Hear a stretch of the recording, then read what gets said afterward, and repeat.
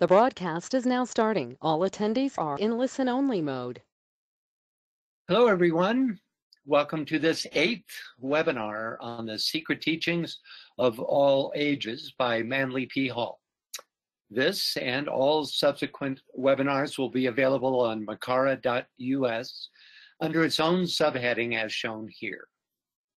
We finished last month knee deep in all things Druid, including their gods, both indigenous and Roman, their spiritual practices, the three divisions of uh, Druid, Ovate, Bard, and Druid, and speculative analysis on some of the Druidic objects found, like the Iodhan Moran, pictured around the neck of the high druid. In fact, we had quite an animated conversation about this uh, item. So, with that, let's pick up where we left off last month. And can we get a reader for this paragraph, this next paragraph? I am reading. Before a candidate was entrusted with the secret doctrines of the Druids, he was bound by a vow of secrecy. These doctrines were imparted only in the depths of forests and in the darkness of caves.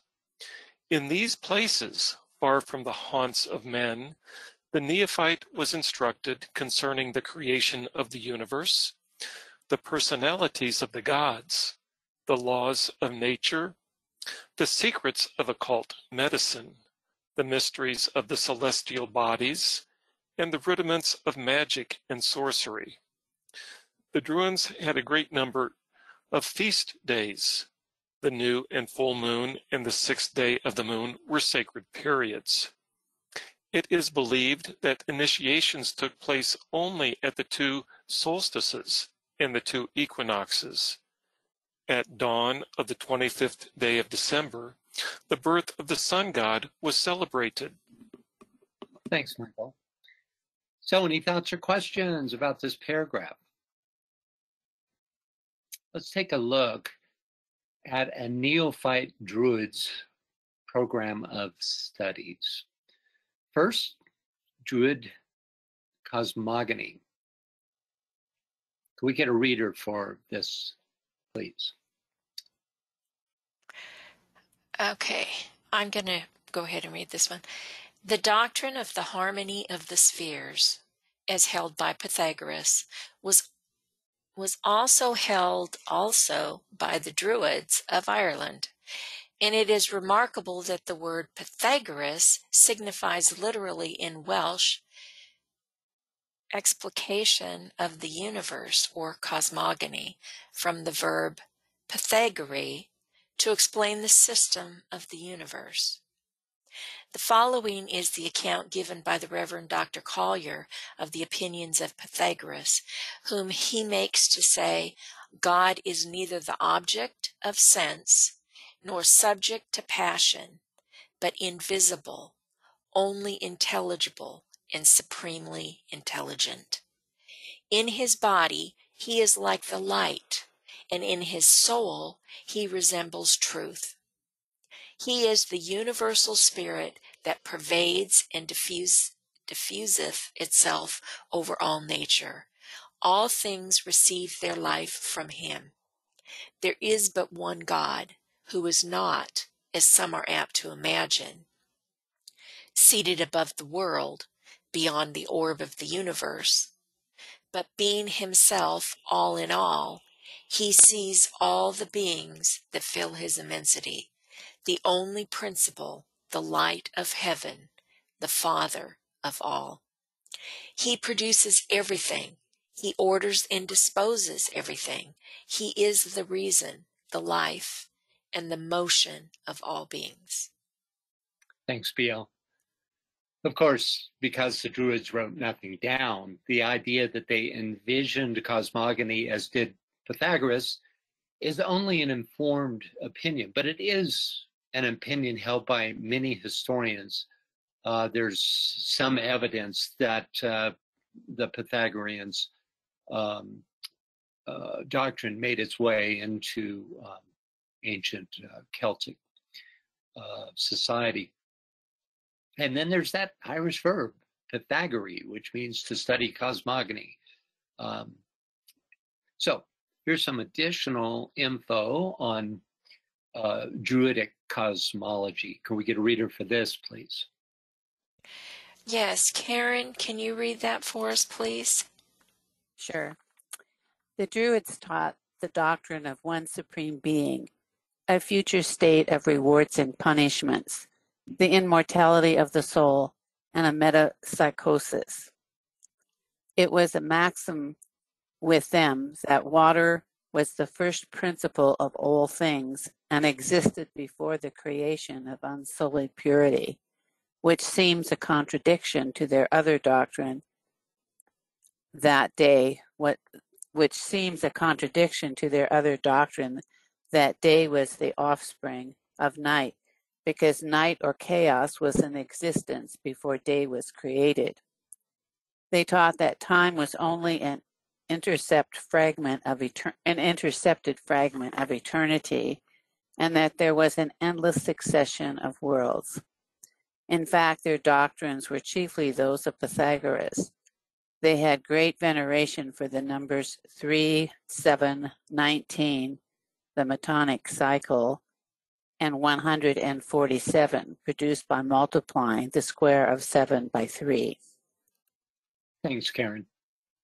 So, uh, working from the bottom up, in the Metonic cycle, the phases of the moon happen on the same calendar day every 19 years, thus bringing together uh, lunar and solar cycles.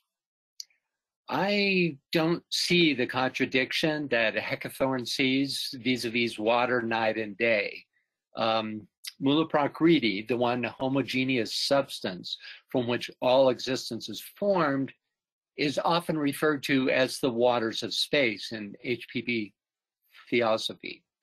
In contradistinction to fire, the spirit aspect, this undifferentiated substance exists in the night of time before the first differentiation, which is a cosmic solar God who ushers in the first day, quote unquote, a day born of night. So the Druids had it right. Um, maybe Heckethorn just didn't have the um, esoteric cosmology to understand. Um, and I say the Druids had it right, but again, you know, this is conditional because um, there's there is evidence that Pythagorean uh, doctrine made its way into the Celtic uh, society, but not proof. Okay. The name of their solar deity, Belenus, has significant numerology, as do the names of other ancient solar deities. Could we get a reader for this short paragraph? And Veronica, can you uh, read that for us? You're muted.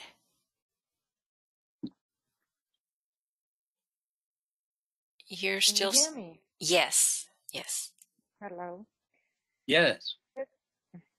Certain it is that the mystical names of the sun Ebrex, Belenus, and Erekoel, the, der- the, der- the derivation of which have so puzzled etymologists, are no more than words formed of numerals making up the number of days in a year. Thank you.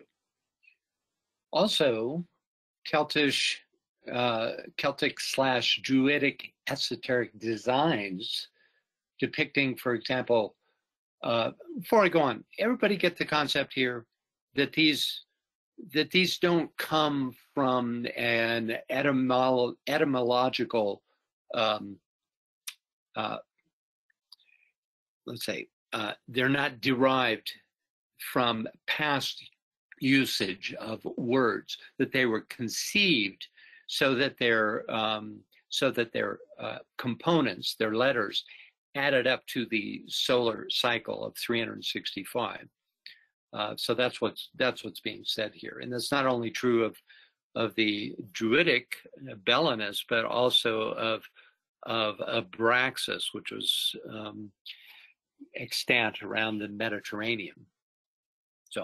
That's the point there. Uh, okay, where was I here?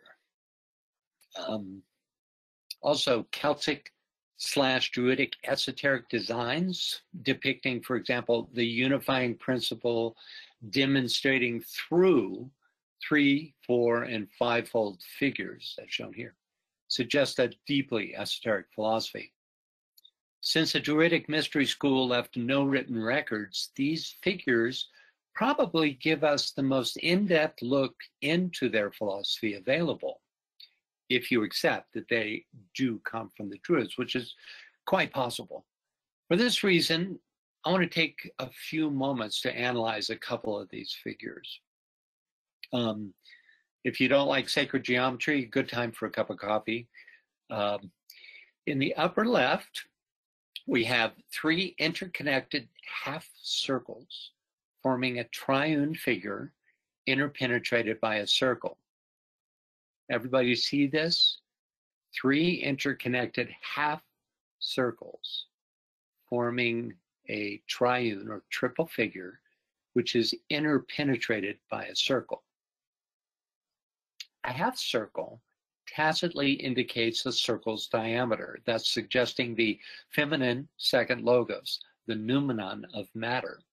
This gives, gives us our primary duality, Purusha and Prakriti, spirit, symbolized by the circle, and matter, symbolized by that circle's diameter.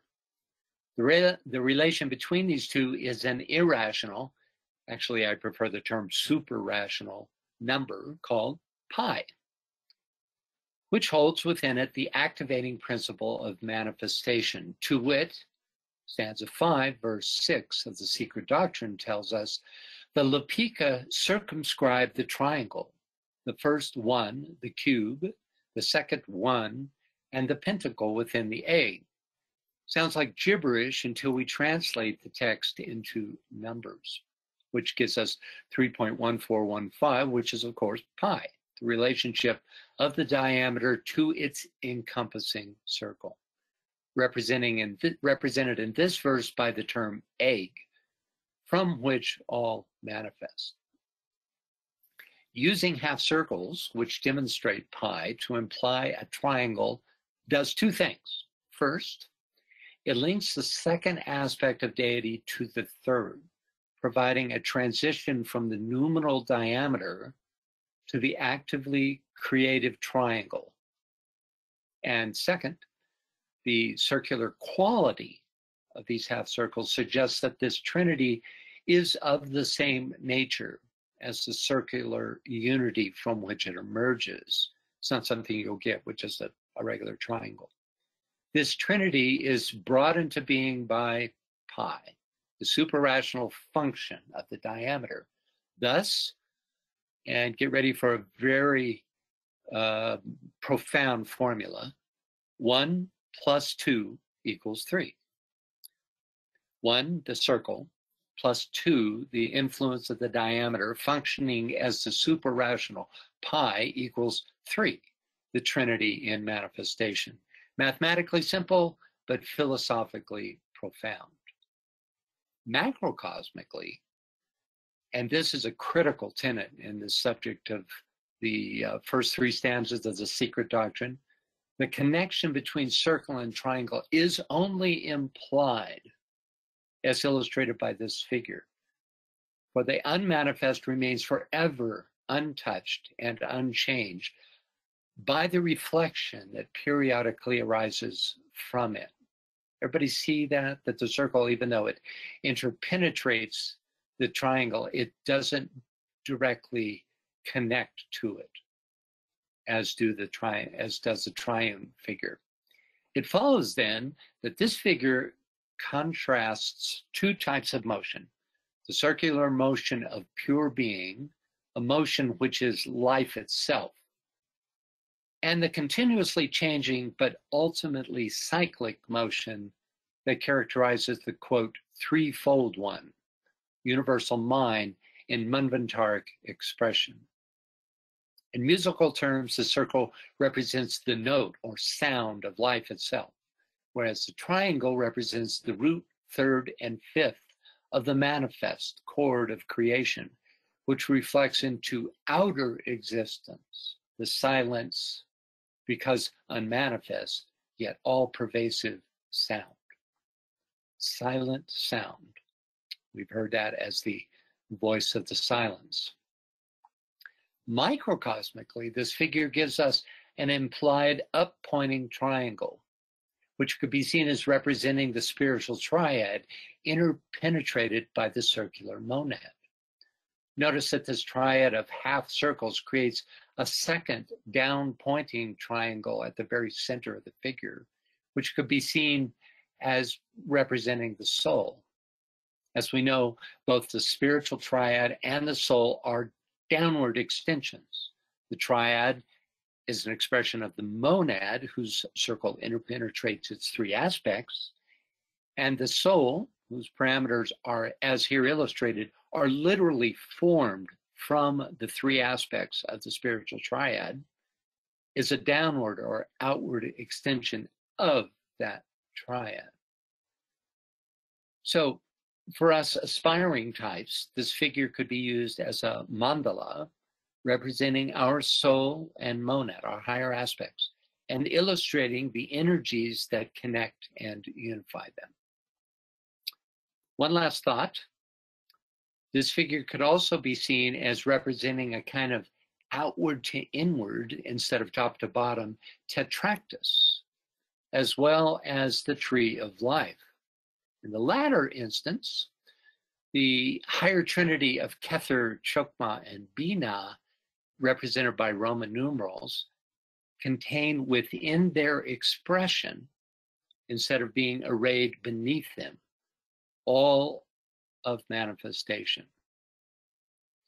So on the right, the, the typical tree of life uh, is a top to bottom system, right, where manifestation is seen as a downward pointing uh, quality, whereas the figure on the left, this triune figure, has the quality of manifestation, the one through seven, within the circle of its influence. It's a it's a very different uh, quality. It's like being embraced by um, svabhavat or or spirit matter instead of having it distanced and and put beneath, right? Uh, let's see. Francis? So, yeah. Oh, sorry. I just wanted to say, um, Anne Veronica uh, says that in Greek, each word can be associated with a number. She says she doesn't know much about it, uh, but that words that have the same number are connected between them. Oh, yes, energetically. Yeah, you have a real key there. Um, and, you know, this I think is also true in Hebrew that there's, in fact, I know it is. Um, uh, Paul Foster Case in his book, The Tarot, makes uh, suggests the, that the numerical value of the Hebrew letters is very significant and it's definitely connected to the higher arcana um, or the upper arcana. And I'm sure the same is true with Greek. So, um, yeah, thanks for that. So, in conclusion, not only do we have illustrated in this figure the one, that's the circle, the two, the diameter, and the three, the triune figure, but also the three and the seven, giving us the 10 of manifestation. There's more here, but I'd like to open it up to your thoughts or questions before we go on. Anybody have any any thoughts about this? Usually this group is is very much stimulated by imagery. Okay, well let's hear if Uh, if and uh, when uh, you uh. go. You didn't give him enough time? I didn't. You're right. Go ahead, Martha. Oh, Francis, this is so exciting. Uh, if I can speak for your participants, we're just uh, steeped in many, many, many different thoughts. My, um, I, this is a basic question. In the ordinary numerology, where numerologists tell us our names and our numbers and all that sort of thing, is it in any way related to what this, uh, what we're learning uh, here in terms of Blavatsky's uh, grasp of deep, deep, deep tradition going back to the Druids? Are they connected or is it just a kind of card game?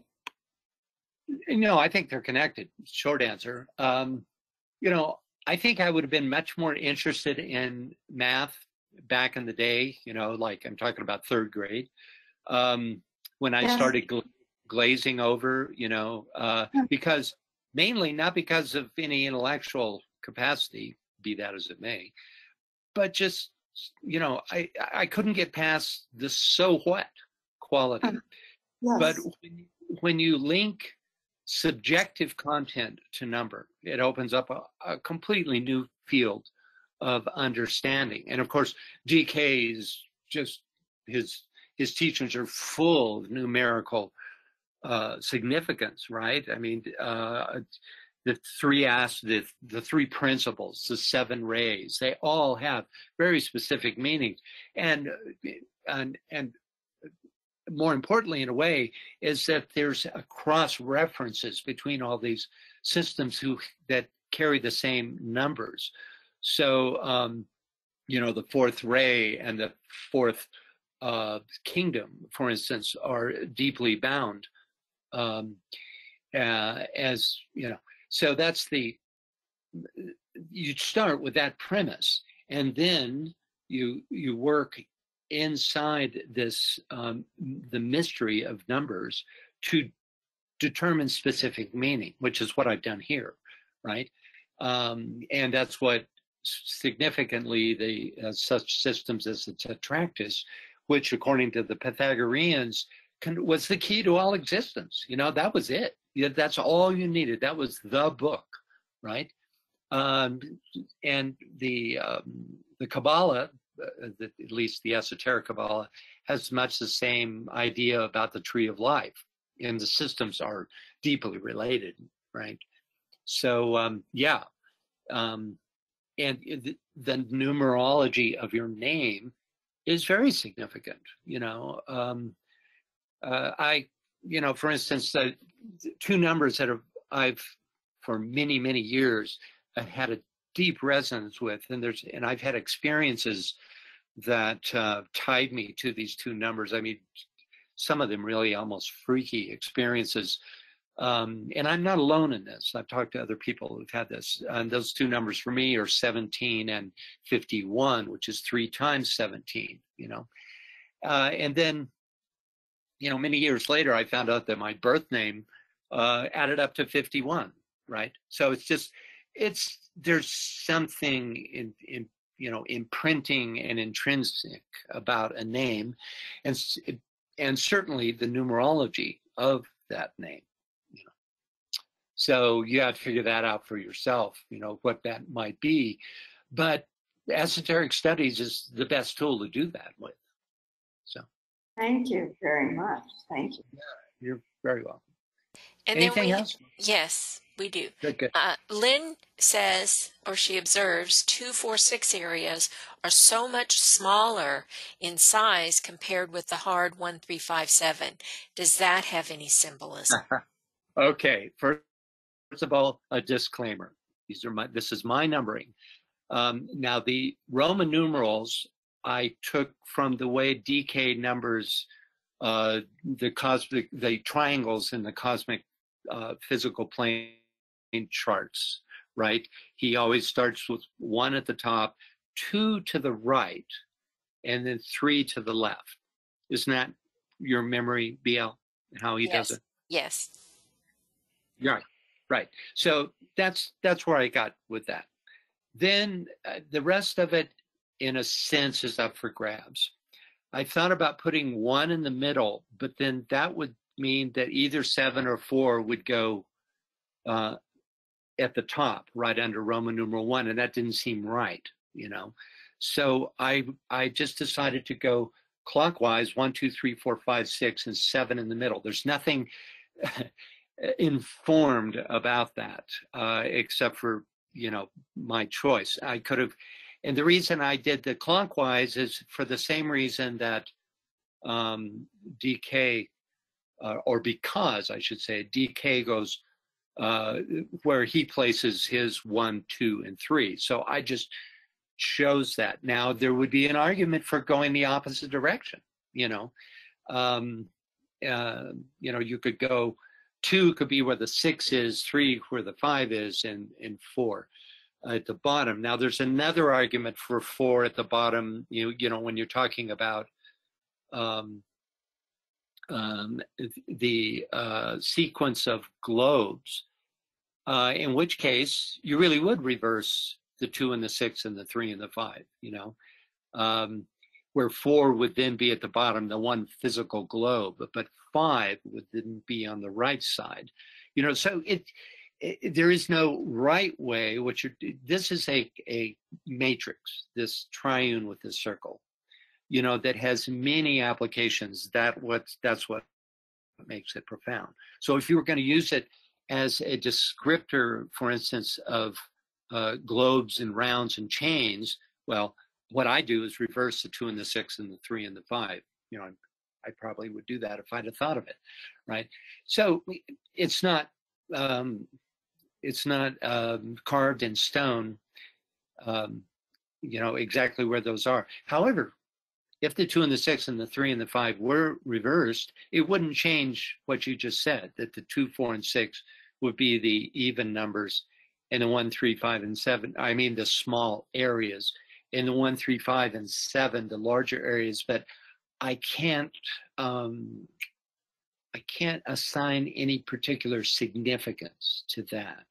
I, I wouldn't, you know, I don't see, for instance, that those are lesser cycles, um, you know, um, in any way. So I couldn't follow it up in that way.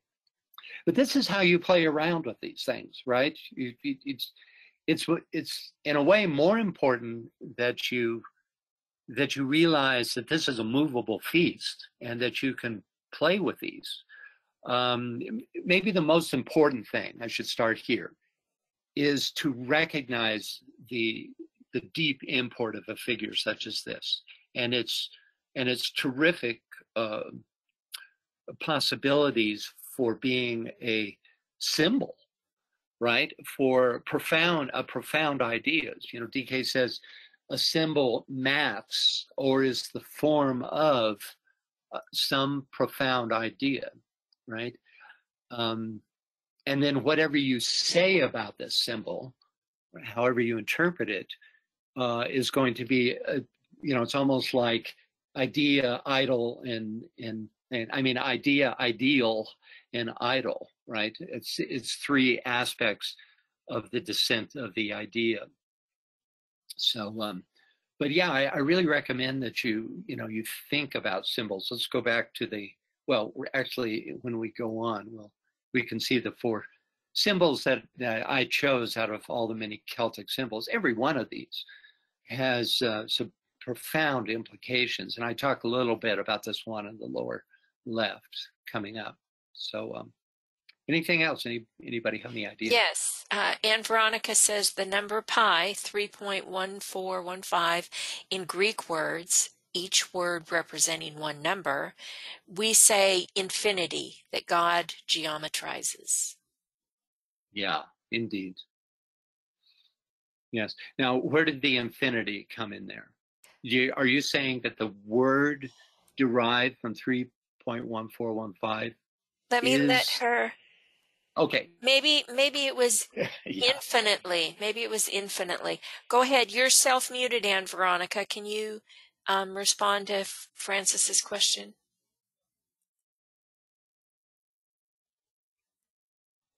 My question really is. Uh, Hello? Hello. Hi, Veronica. Yeah. Hello? My question. Hi. We can hear you. Uh, well, in Greek words, we say ai, o Theos, omegas, geometry. Ai means internally, internet, internet, um, forever, eternity. Okay. And it's three words. It's the number three. O is one word. It's only one letter. Uh, Theos means God. Uh, it's four letters. Uh, geometry, geometrizes means uh, uh, that he geometrizes, and uh, each uh, word uh, has uh, three, one, four, one, five letters. Oh, wow.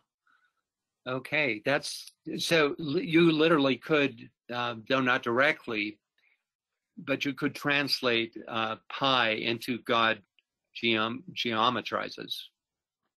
Is that what you're saying? Forever. Okay. or Yes, continuously. in eternity. or at least yes. entire. Yeah. yes. Oh, that's fascinating. I didn't I didn't Yes. know that. Thank you for that, uh, Aunt Veronica. That's very interesting. Yeah. Um, go on, please, Anne Veronica, and add what you also typed in below that about the circle. Uh, I was looking at this uh, symbol. What's its name? Because my internet fell and I lost something. What What's this name of the symbol we're seeing here?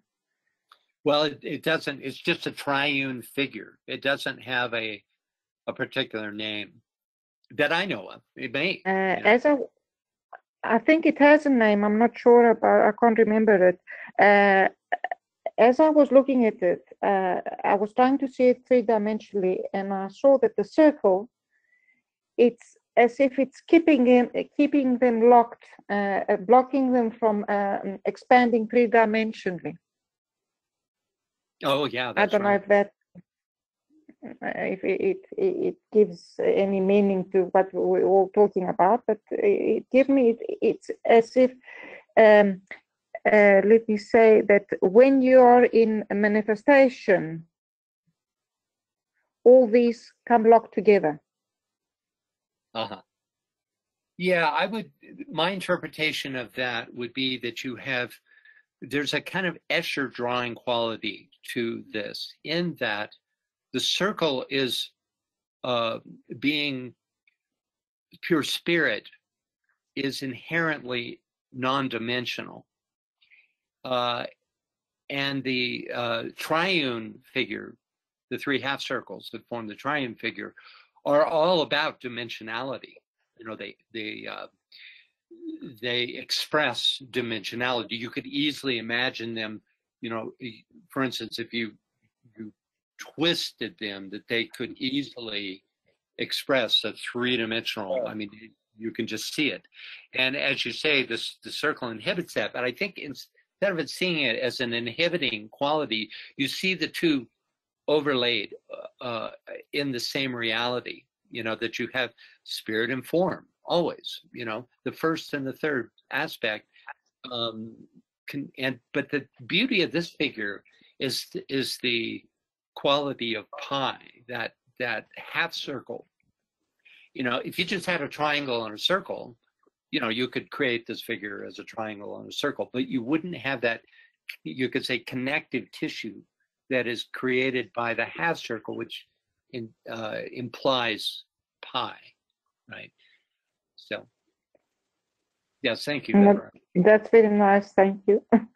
Yeah. Anyone else? Any comments about this? That's all I see at the time. Okay, let's move on to this. Let's see where I am in my notes. Um, okay, the bottom left figure, and here I'll be brief, uh, depicts a kind of philosophical, not geometric, squaring of the circle, which is just a way of describing the interpenetration of spirit and matter. It could be seen as the next involutional stage involutional stage of the figure that we just analyzed because its circle is really two half circles, creating an invisible diameter from which merges the cross. First, indicating the third logos, that's the symbol of third logos, a cross and a circle, also the symbol of the earth, but it's it's um it's not an X as it is here. Um, but then when extended beyond the circle, the the uh, cross becomes the X of matter, right? Notice that unlike in the left figure, the line is continuous, thus making this figure a candidate for representing Svabhavat. For those of you who have been following the secret doctrine, which is manvantaric, spirit and matter as two aspects of the same being. Svabhavat unifies those two aspects, as does this figure. Um, given a choice between the two, I think the the one on the left is much more profound. Um, every part of that figure uh, is relevant to its meaning, whatever meaning you may derive from it, and it could be applied on many left different levels. Whereas on the one on the left, you almost feel like those little half circles that connect the the um, x to the diameter. It's like, you know, if this is really a pure symbol, well, what are those? Why are they? Is it just to connect them? You know, it's those kind of questions you have to ask when evaluating the potency of a symbol. So, um, okay. Anyway, And that's one. Yeah. sorry, we have uh, a comment from Karsten.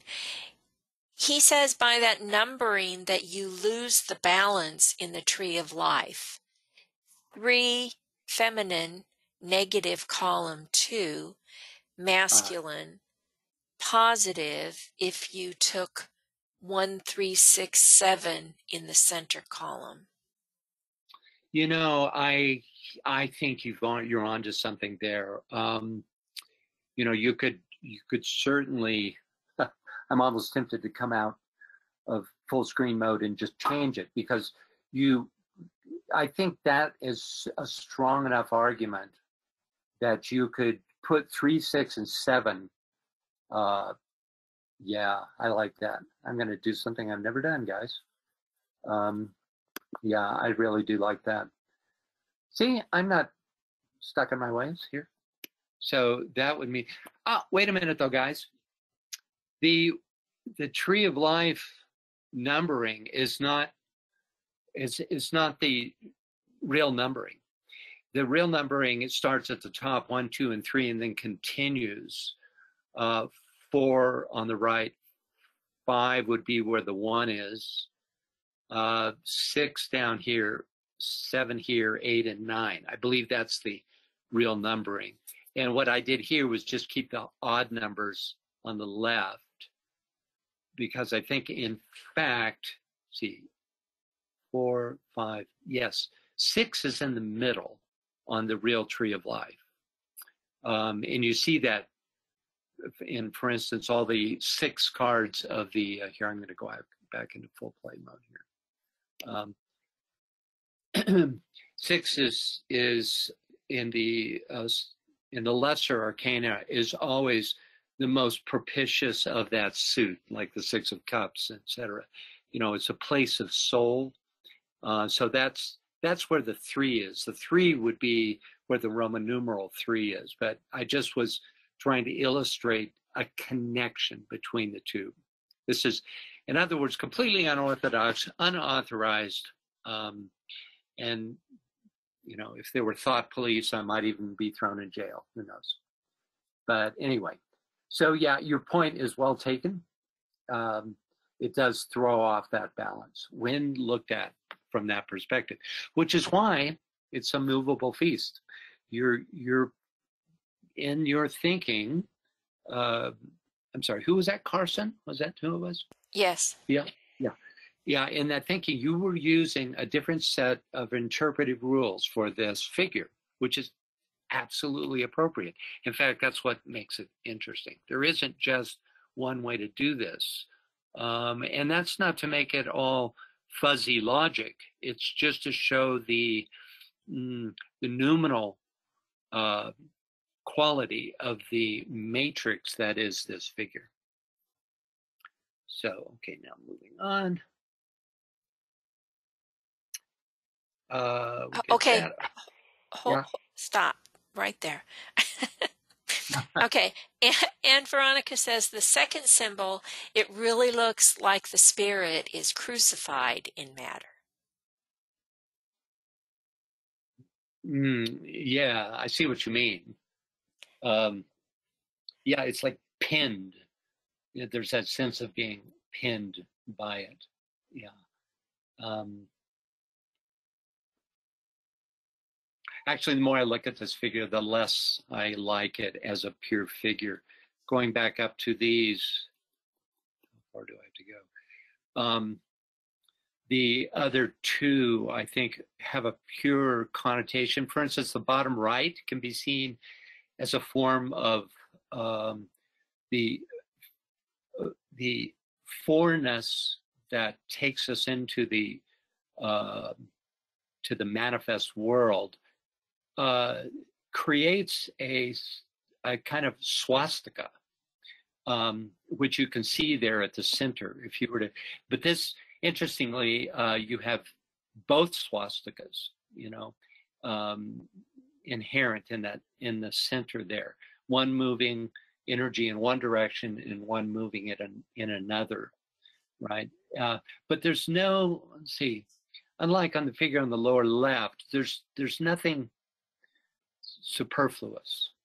And the upper right figure is is a, a, a beautiful description to me of of three and one, you know, seemingly the seeming threeness absolutely universally connected with the unity, except for that you have, like you do in a triangle, three endpoints, right? Uh, you know, where those points terminate at the center of the spiral, right? But that spiral also insinuates a further furthering a continuing of that spiral, that it continues inward, right? So, yeah, just also that figure has the uh, additional status of having been carved in the druidical subterranean grotto. Um, we either, we've either come to it or will come to it. I think we're still to come to it. You'll have a picture of that. Yeah, you were going to say something, Bill? Oops. Yep. Sorry. Um, Joe says the bottom left can also be seen as above, so below.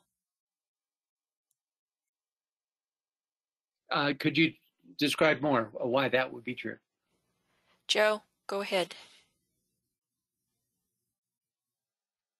I mean, I, I don't have the best audio environment. Uh, if you look at it, it's just a re- it's it's like a reflection. Yeah, the upper reflecting to the lower. Yeah, that's very good. Yeah. Um, yeah, and you you have that on both the bottom figures, uh, but not on the two top figures. So yeah, and you have that. I think it's accentuated on the one on the lower left because of the the fact that the break in the circle, suggesting a reflection. You know, certainly of the of the circle, right? Um, yeah, that's interesting. I guess my problem lies with those those little connecting lines. They seem not inherent, but added in order to create a continuous flow. But you know, if if you all can come up with, you know, philosophical purpose for those uh, connecting lines, I'd love to hear it. Remember that it's the process of evaluation that's just as important as any conclusions you might come up with because you can bet that if Djwhal Khul was here, he would come up with um, different conclusions, or at least expanded. I think it's reminiscent of, um, you know, in the blue books, the triangles, the two triangles that are connected by the the uh, horizontal bar, and how the arrows flow through that. It's the same feel I get with this figure, uh-huh. with that those interconnecting lines. Yeah, I like that. Um, I like that, Joe, because you, it, in other words, they're dotted lines. they're saying exactly. Is, yeah, rather than being primarily part of the figure, they're they're that which energetically connects the two. You know, course, you know they've they made a real point of having the two on the right go under the X, and the two, you know, un, the under over is reversed from left to right is what i'm trying to say you know. Uh, and that's the thing we even talk about you know um, what's the meaning of the under over? And we're not going to get into it because we have we have this webinar we have to do. But um, you know uh, if you like this stuff folks um, i recommend uh, taken a look at my 25 webinars on sacred geometry, which um, it's kind of like an Uber Sesame Street. We count from one to 12, oh, but it takes us 25 webinars to do it, right? So take a look. If this is particularly exciting to you, we do some cool stuff in there. Um, and uh, yeah, so I think this is all enough to show that there's uh, the profound nature of these Celtic figures, which since the Druidic order was the source of the philosophical and intellectual leaders of the Celts to whom these figures are attributed, it's at least possible that they are mute explications of Druidic philosophy. Of course, you know, we'll never be able to go any go further than that, but it's you know, certainly this figure on the left is a profound Celtic concept, right? Whatever it was intended to mean by them. We don't Fran- have specificity, but we definitely have quality indicated. Yeah. Um, Jonathan says the, the shape made in between or space in between are sets of three, but the center is singular. The top half reminds me of the hat or the cap that the Pope wears. And he says he's speaking of the first symbol. Yes, of course you are. Yeah. Yeah, interesting. You know, the mitre, right, which is a broken arc. You know, they somewhere around the 12th, 11th, 10th, wait a minute. In the 10th century, the um, all the cathedrals had a rounded arc top. And then somewhere around the 12th century, they they broke it. They broke it like these um, half circles are broken. Now that I've never looked into the specific nature of the geometry of. Do you know what I'm talking about? They have. It's called. What's it called? It's a certain. Um, Martha, I bet you remember. There's it's there's a name of the arch that appears in the later cathedrals, and it has this broken top quality, like like uh, the figure on the left. Anyway, um, there may be some, and that's the mitre always seemed to me that um, a reflection of that arch or that arc. Okay, let's see. Um, get past this. Let's get back to the text. Um, as to the secrets of occult matter, we're just working our way through what what the uh, Druidic um, curriculum was for becoming a Druid. Um, as to the secrets of occult medicine, mistletoe was not the only plant that was revered by the Druids. Could we get a reader for this? Lynn, can you read that for us, please? Yes. The Druids are said to have been much addicted to the study of the qualities of vegetables, plants, and herbs. Vervain was amongst their greatest favorites. They used it in casting lots and foretelling future events. They used it to anoint persons to prevent fevers, etc. But it was to be gathered with certain ceremonies and at certain seasons of the year. The selago, a kind of hedge hyssop resembling the savine and the samolus or marshwort, or the round-leaf water pimpernel, were also supposed to have supernatural powers to prevent evils and cure diseases, and were gathered at particular times with great ceremonies. Thanks, Lynn. So the Druids were well acquainted with the magical as well as the medicinal properties of plants, but it was the anguinum or serpent's egg that was particularly prized, really prized above all else for its magical properties. Could we get a reader for this section? Scott, can you read that for us, please? Mm-hmm. The Druids venerated the serpent of Genesis, by whom they denied that sin was brought into the world, maintaining that it was a personification of the good principle, who instructed Eve in all the learning of the world which has descended to us. The Anguinum or serpent's egg, was a congeries of small snakes rolled together and encrusted with a shell, formed by the saliva and viscous gum, froth, or sweat of the mother serpent. The Druids say that this egg is tossed in the air by the hissing of its dame, and that before it falls again to the earth, it should be received in the sagas, lest it be defiled.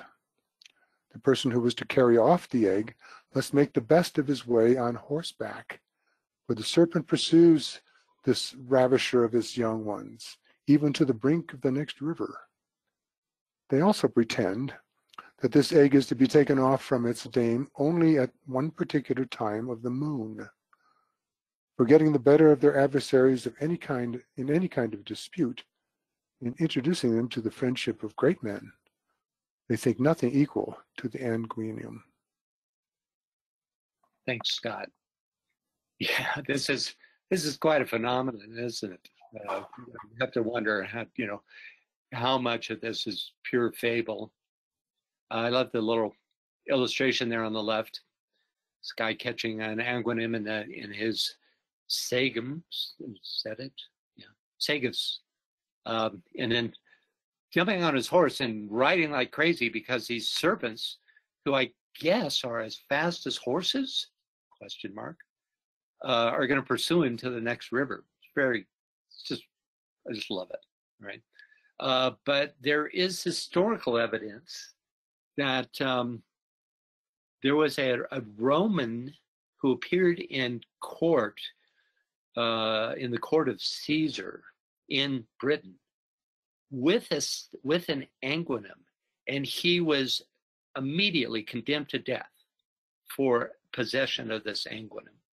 So I don't know what that shows, except for that there was just tremendous enmity, enmity between uh, the Druids and their conquerors. Okay, any questions about this?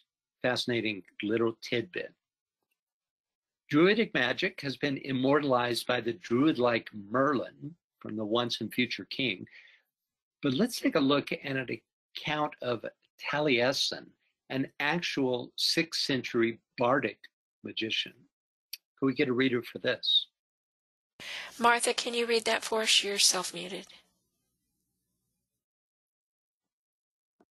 On arriving at the court of Maelgwyn, Taliesin cast a spell upon the bards, so that on appearing before the king, instead of reciting verses in his praise, they could only pout out their lips, make mouths at him, and play brum brum on their lips with their fingers. Maelgwyn, imagining them to be drunk with many liquors, ordered one of his squires to give a blow to the chief of them named Heinen Vard. And the squire took a broom and struck him on the head so that he fell back in his seat. This seems to have broken the spell, for the chief bard thereupon explains to Maelgwyn that they were affected not by strong drink, but by the influence of a spirit sitting in the corner of the hall in the form of a child. Forthwith, the king commanded the squire to fetch him and he went to the nook where Taliesin sat and brought him before the king, who asked him what he was and whence he came. And he answered the king in verse from Taliesin or the bards and druids of Britain. Thanks, Martha. So, um, okay, we'll move on. This is all a lot of fun and, and shows how many uh, stories uh, came up around the Druid culture, right? Taliesin always um, asserted that he was um, taught in the Druid school, even though he was a sixth century bard. Okay. Um, the single greatest surviving product from the silversmith's hammer emerging from Druidic times in Northern Europe is the Gundestrup cauldron. Of course, there's no accompanying commentary, but to my mind, the central figure in this panel from the cauldron looks like an entranced magician surrounded by the spirits of creatures from unseen realms. This is a very shamanic rendering. The shaman's grip on and the proximity of the serpent to the shaman's ear suggests to me that he is receiving instruction, right? And we all know the, the wisdom of serpents, right? While his open mouth suggests the intoning of a magical chant that has drawn forth the spirits of the creatures surrounding him. In short, he is an intermediary or conduit between the serpent wisdom and his tribe. Could we get a reader for this? Not this uh, quote is not directly related to the uh, cauldron, but it's um, it's about magic. Hi, Yvonne. Can you read that for us, please? Okay. The whole system is called Samhan Draoic. That is to say, the magic of Samhan. Draoic signifies magic. Draoith, a magician. In the Irish glossaries, Sinor, Sinor, which signifies an old magician, a sage, is always applied to the Druids. In the Gaelic translation of the Bible, the three magi who came to the birth of Christ are called Dryoath. Pliny or Pliny said, Britain at this day celebrates the magic rites with so many similar ceremonies that you might suppose them to have been given to them by the Persians. Thank you. You're welcome. So here are two more panels from the cauldron. You know, the very fact that these panels are from a cauldron suggests that it was likely used for magical purposes. I mean, you're not going to cook your soup in a cauldron that's, you know, uh, uh, it looks like this. Here, the upper panel probably depicts the slaying of the white bull. Remember that? Uh, it's the culminating sacrifice that follows the annual ritual gathering of the mistletoe. That was the frontispiece for this webinar. In the march to battle of the lower panel, the dividing line between the upper and lower sections is a horizontal depiction of the tree of life. According to the Roman consul Cicero, the only druid ever known by name was a magician, as well as a quote, master of the wisdom of nature. Could we get a reader for this? Catherine, can you read that for us, please? Sure. Okay.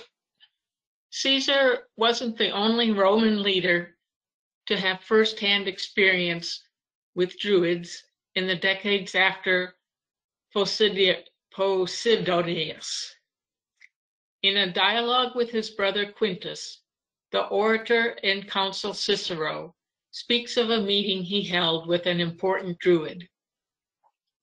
I know there are Druids in Gaul because I met one myself, Davidicus of the Aedui tribe, who spoke well of you.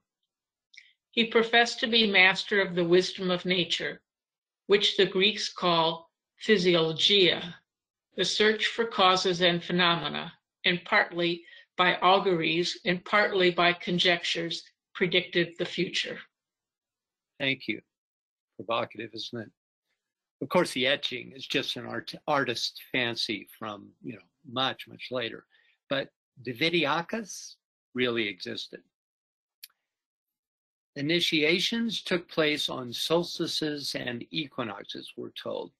Could we get a reader for this um, um, quote from Albert Pike? Antoinette, can you read that for us, please? Yes. The grand periods for initiation into the Druidal mysteries were quarterly, at the equinox and solstices. In the remote times when they originated, these were the times corresponding with the 13th of February, 1st of May, 19th of August, and 1st of November. The time of annual celebration was May Eve and the ceremonial preparations commenced at midnight on the 29th of April. When the initiations were over on May Eve, fires were kindled and all the churns and the cromlechs in the island, which burned all night to introduce the sports of the May Day. The festival was in honor of the sun. The initiations were performed at midnight and there were three degrees. Taliesin, describing his initiation, says, The secrets were imparted to me by the old giantess. Um. Thank you, Ceridwen or Isis, without the use of audible language. And again he says, I am a silent proficient.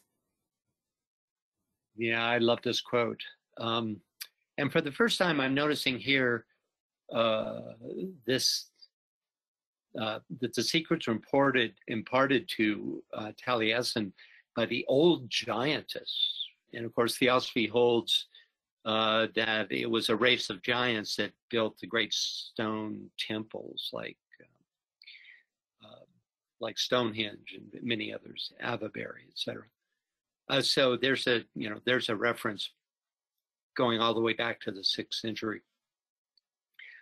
Um, and then this idea that Ceridwen is Isis, uh, it just shows the, the, the, tremendous influence that the Mediterranean uh, spiritual um, disciplines had on uh, the Druids. Uh, but I love this. I am a silent proficient.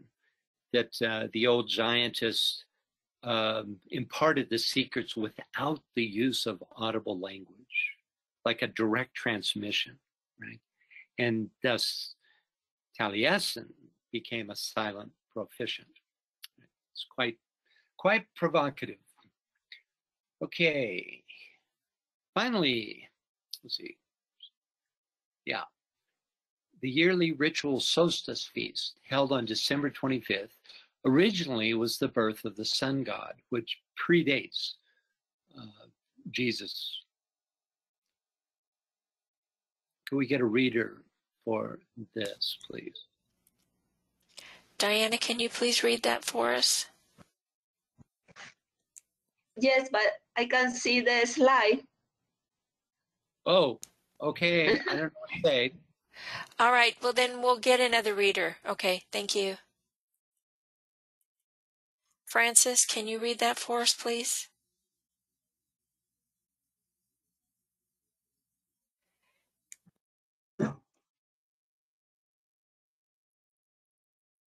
Karen, can you?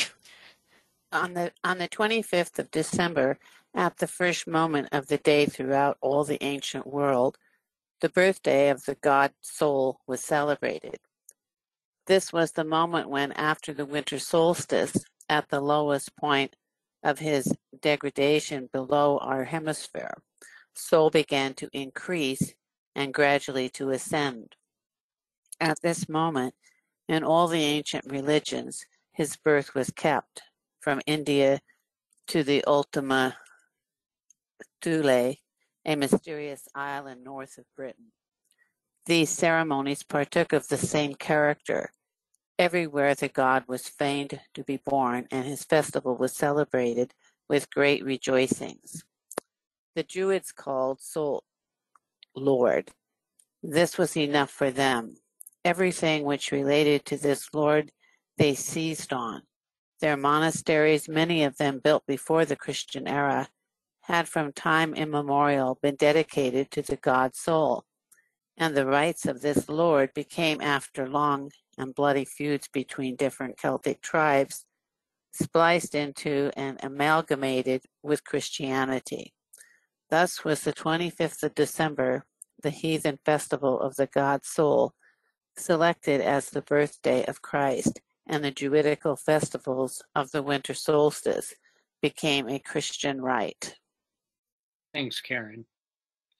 So uh, we have a little peek. It's not a sure thing, but we have a little peek into this idea of uh, the cosmic or at least systemic reason for uh, the 25th of December being chosen universally, right, um, as this birthday of the god Sol, right? He says here, uh, this was a moment when, after the winter solstice and the lowest point of his degradation below our hemisphere, northern hemisphere, Sol began to increase.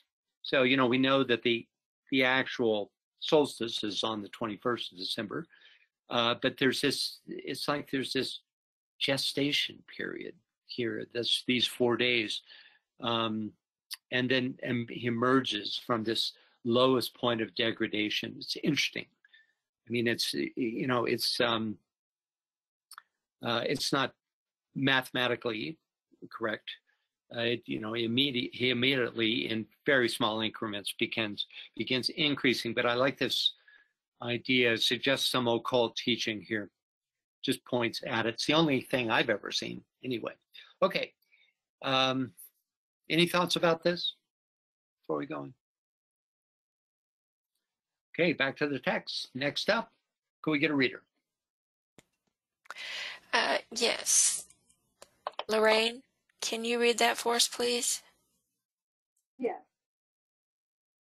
The secret teachings of the Druids are said by some to be tinctured with Pythagorean philosophy.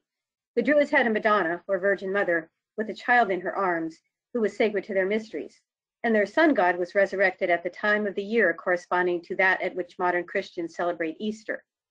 Both the cross and the serpent were sacred to the Druids, who made the former by cutting off all the branches of an oak tree and fastening one of them to the main trunk, in the form of the letter T.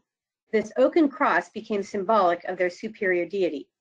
They also worshiped the sun, moon, and stars. The moon received their special veneration. Caesar stated that Mercury was one of the chief deities of the Gauls. The Druids are believed to have worshipped Mercury under the similitude of a stone cube. They also had great veneration for the nature spirits, fairies, gnomes, and undines, little creatures of the forests and rivers to whom many offerings were made. Thank you. So, referencing Pythagoras, uh, Albert Pike tells us the secret Pythagorean doctrines of numbers were preserved by the monks of Tibet, by the Hierophants of Egypt and Eleusis, at Jerusalem, and in the circular chapters of the Druids. Interesting comment. As to the uh, Druidic Madonna, there was celebrated centuries before the Christian era in the district of Chartres, and very possibly on the very site of the great Cathedral of Chartres, a festival in honor of the Druid Virgin, Virgini Pariturae, depicted here on the left. An echo of this Druidic vir Virgin can still be visited in the crypt beneath Chartres, where sits Our Lady from Under the Earth. Also, according to Godfrey Higgins, in the year 1747, a Mithraic monument was found at Oxford. I searched, I could not find it, um, on which was exhibited a female nursing an infant, the goddess of the year nursing the god day. Could we get a reader for this uh, quote from Morals and Dogma? Michael, will you read that for us, please? The first Druids were the true children of the Magi, and their initiation came from Egypt and Chaldea, that is to say, from the pure sources of the primitive Kabbalah. They adored the Trinity under the names of Isis or Hesus, the supreme harmony, of Belen or Bel, which in Assyrian means Lord, a name corresponding to that of Adonai, and of Kamul or Kamael, a name that in the Kabbalah personifies the divine justice. Below this triangle of light, they supposed a divine reflection, also composed of three personified rays. First, Teutates or Teuth, the same as the Thoth of the Egyptians, the word, or the intelligence formulated. Then force and beauty, whose names varied like their emblems. Finally, they completed the sacred septenary by a mysterious image that represented the progress of the dogma and its future realiza realizations. This was a young girl veiled, holding a child in her arms, and they dedicated this image to the Virgin who will become a mother, Virgini Pariturae. So Virginie Partre is symbolic art at its best. Mother Wisdom, or Sophia, holding the quote, progress of the dogma and its future realizations. The year, giving birth to the day, the greater cycle to the lesser, the latter always a symbol of manifestation. Of course, veneration of the cross predates Christianity and formed an especial significance among the Druids. It's often depicted in conjunction with the circle. We looked at this quote a couple of months ago, which describes the creation of a Tau cross using a using an oak tree and a cross member on which the names of druidic deities were carved. Hesus, which is Isis, Taramis, Belenus, and Tau. Higgins tells us this Tau was the symbol of the druidical Jupiter. It consisted of a great oak deprived of all its branches except only two large ones, which, though cut off and separated, were suspended from the top of its trunk like extended arms. By the way, um, Julius Caesar noted that even though Mercury was the dominant um, god in uh, Druidism, at least a dominant Roman god, um, I think makes it exoteric. He, he mentioned the importance of Jupiter to their teachings. This Tau cross survives in the form of the um, 12th major arcana of the Tarot, entitled The Hangman. Paul Foster Case says the T cross is a cross of living wood to symbolize the cosmic life and is shaped like the Hebrew letter Tav. And again, from Albert Pike, could we get a, a reader for this? And here, by the way, is where that triune figure that I showed earlier, see there on the left, is carved. Uh, yes, a reader, please. Barbara, can you read that for us, please?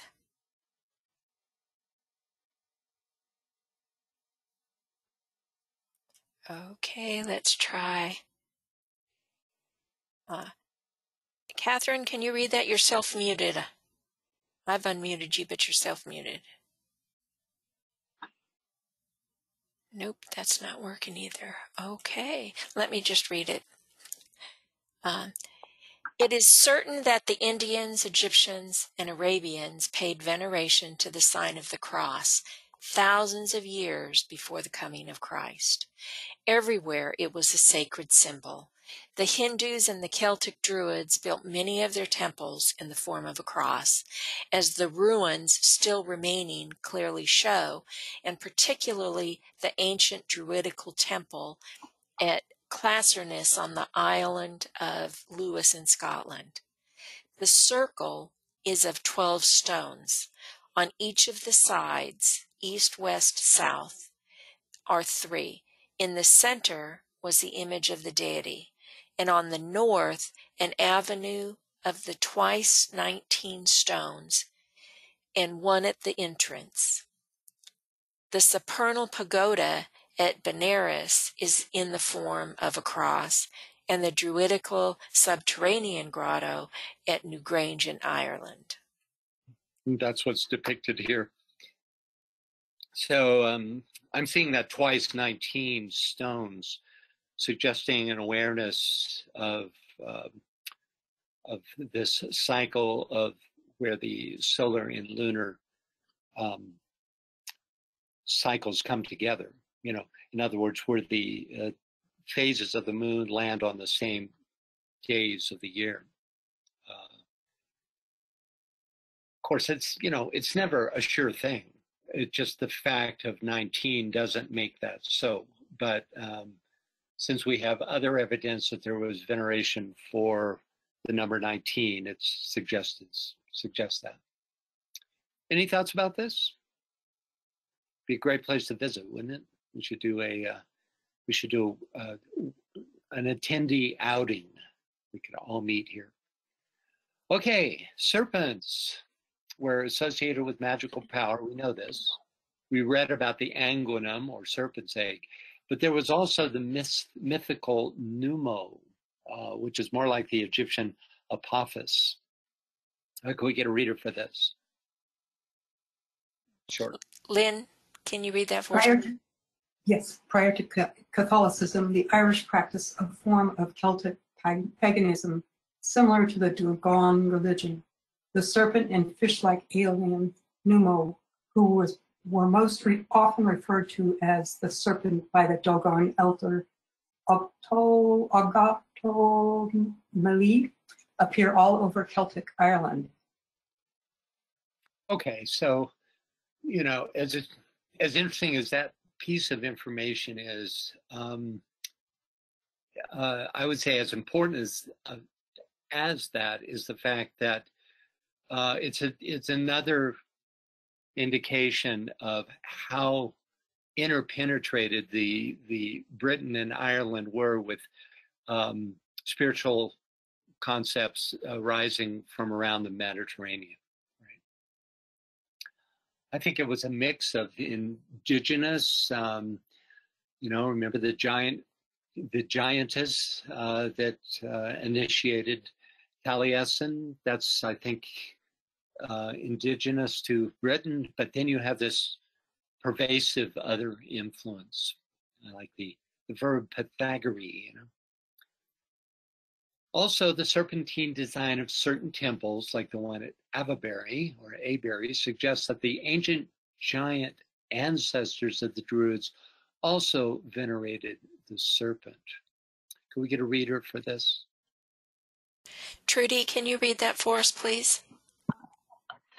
An infinity of learning has been displayed by Dr.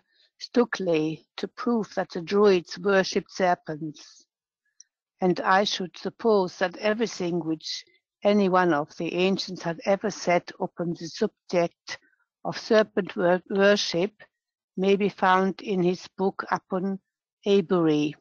I think the shape of that temple must satisfy anyone that they did pay it some kind of adoration.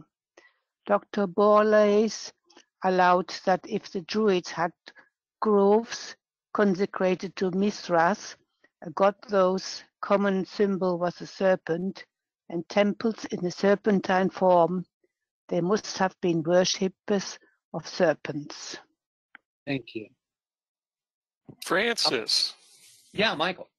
There's all this talk about serpents, and it just seems to me that uh, serpent is a symbol of wisdom always has been in ancient cultures. It's you know you could say it's also a, a, a, the external symbol of the dragon, right? And, and right. that's where the connection comes, the dragon of wisdom. Yeah, good to be Just, yeah, it just seems that um, there's so much lost uh, when when people forget the symbolism and look at the symbol as what is meant. Exactly. That, that they're worshiping snakes and not wisdom. Yeah, exactly. Yeah. Yeah. When you have, you know, exoteric uh, archaeologists, you get a lot of that kind of um, conclusions that are just, you know, make you roll your eyes if you have any philosophical training at, at all, you know. As Joe Campbell said, famously said, when asked what was wrong with society today, he said, they've lost the metaphor. And there it is. Thanks, Michael. So, uh, Francis. Albert Pike. Yeah, go ahead. Um, and Veronica says Isis is one of the names of the sign Virgo in the zodiac. Yeah. Uh, Master DK says that Virgo is the most ancient sign. It comes to us through Eve, Isis, and Virgin Mary, each one a symbol of the mental, astral, and physical plane. She says BL can say it better than me. uh, but she said she it she said it very well there. That that yeah. is what DK tells us about it in Virgo. Um, yeah. and and she says of Mercury today, I was listening to Michael Robbins on a webinar on esoteric astrology, and he said that the rod of Mercury is an eight and that's the way the Kundalini rises. Usually, the eight is an unbroken symbol that has no beginning or end. Now, as he talked, I had an image that three fires rise at the same time from the bottom up and then uh, form the eight. The cross symbol we were talking before reminded me of this, the Kundalini rising. Yeah, the only comment I'd make about that is that the solar symbol at the top, you know, the snakes seem to end at the head at the top, but then they're unified by that arc of this of this solar symbol at the top. You know, so you could also draw it that way, you know, and it becomes an eight. And of course, eight, you know, is um we know it's a number of the Christ. Um and uh, that uh, Mercury as messenger of the gods. I mean, the very symbol of eight uh, is is would be the symbol of as above, so below, um, and it also shows the the energy circulating between the upper and lower circles, right? Which is, you know, one of the fundamental concepts of Mercury. So, yeah. Thank you for that. And then Yvonne has her hand up. Go ahead, Yvonne. Uh, Francis, I have a question on that last slide. Okay. This one? Okay, and this this is going to sound dumb, but is that you know it reminds me of, uh, and this is Celtic in Ireland. Saint Patrick throwing the snakes out of Ireland. I mean, Uh-huh. when I look at, when I look at that, and that you know it just doesn't make sense because isn't he the one that's supposed to throw all the snakes out of Ireland? Uh, why doesn't it make sense? Well, because that's not what we're saying. If he threw all the snakes out of Ireland, they're and they're sacred. Uh, I don't Well, know. Then everybody, they- everybody got really dumb when they threw them out, right? No, there's there's two kinds of serpents, and this is true, um, you know, through all the esoteric teachings. There's a lower uh, dragon, or you could say the lower nexus, which you could call lower mind, really. Um, that is like a serpent, and it represents the form aspect, and more particularly the draw or the lure, allure of the form aspect. And in Egypt, this is Apophis. I wish I could just pull up the slide because they have literally, you know, the the they show the pharaoh very much, very much like this. They show the pharaoh uh, with his crook, uh, very much like this crook, uh, um, uh, controlling this lower um, Apophis snake. And then there's the the the higher uh, serpent wisdom, you know, uh, which is you, you know, in for instance, in Egypt, it's demonstrated by the uraeus that always appears as, as the third eye on the pharaoh, right? Um, and that's a that's a different that's a different serpent altogether. So you have you have two things, and I think one distinction would be to see one as a dragon of wisdom, but you know we also have in Christianity the lower dragon, right, which is really the same serpent. That's one that that George went after, right? And all of that is all of that stuff is metaphor for control of your own lower nature. Right. That's what this is. So when you drive all the serpents out of Ireland, well, good luck with that. If you can really pull that one off, that would be great. You know, but I'm sure it has a some kind of um, esoteric connotation of, about Ireland as an entity itself. Uh, Francis? Yeah. I'm not sure how accurate this is or where I got it from, but um, I heard that um, St. Patrick driving the snakes out of Ireland equated to him driving the Druids out.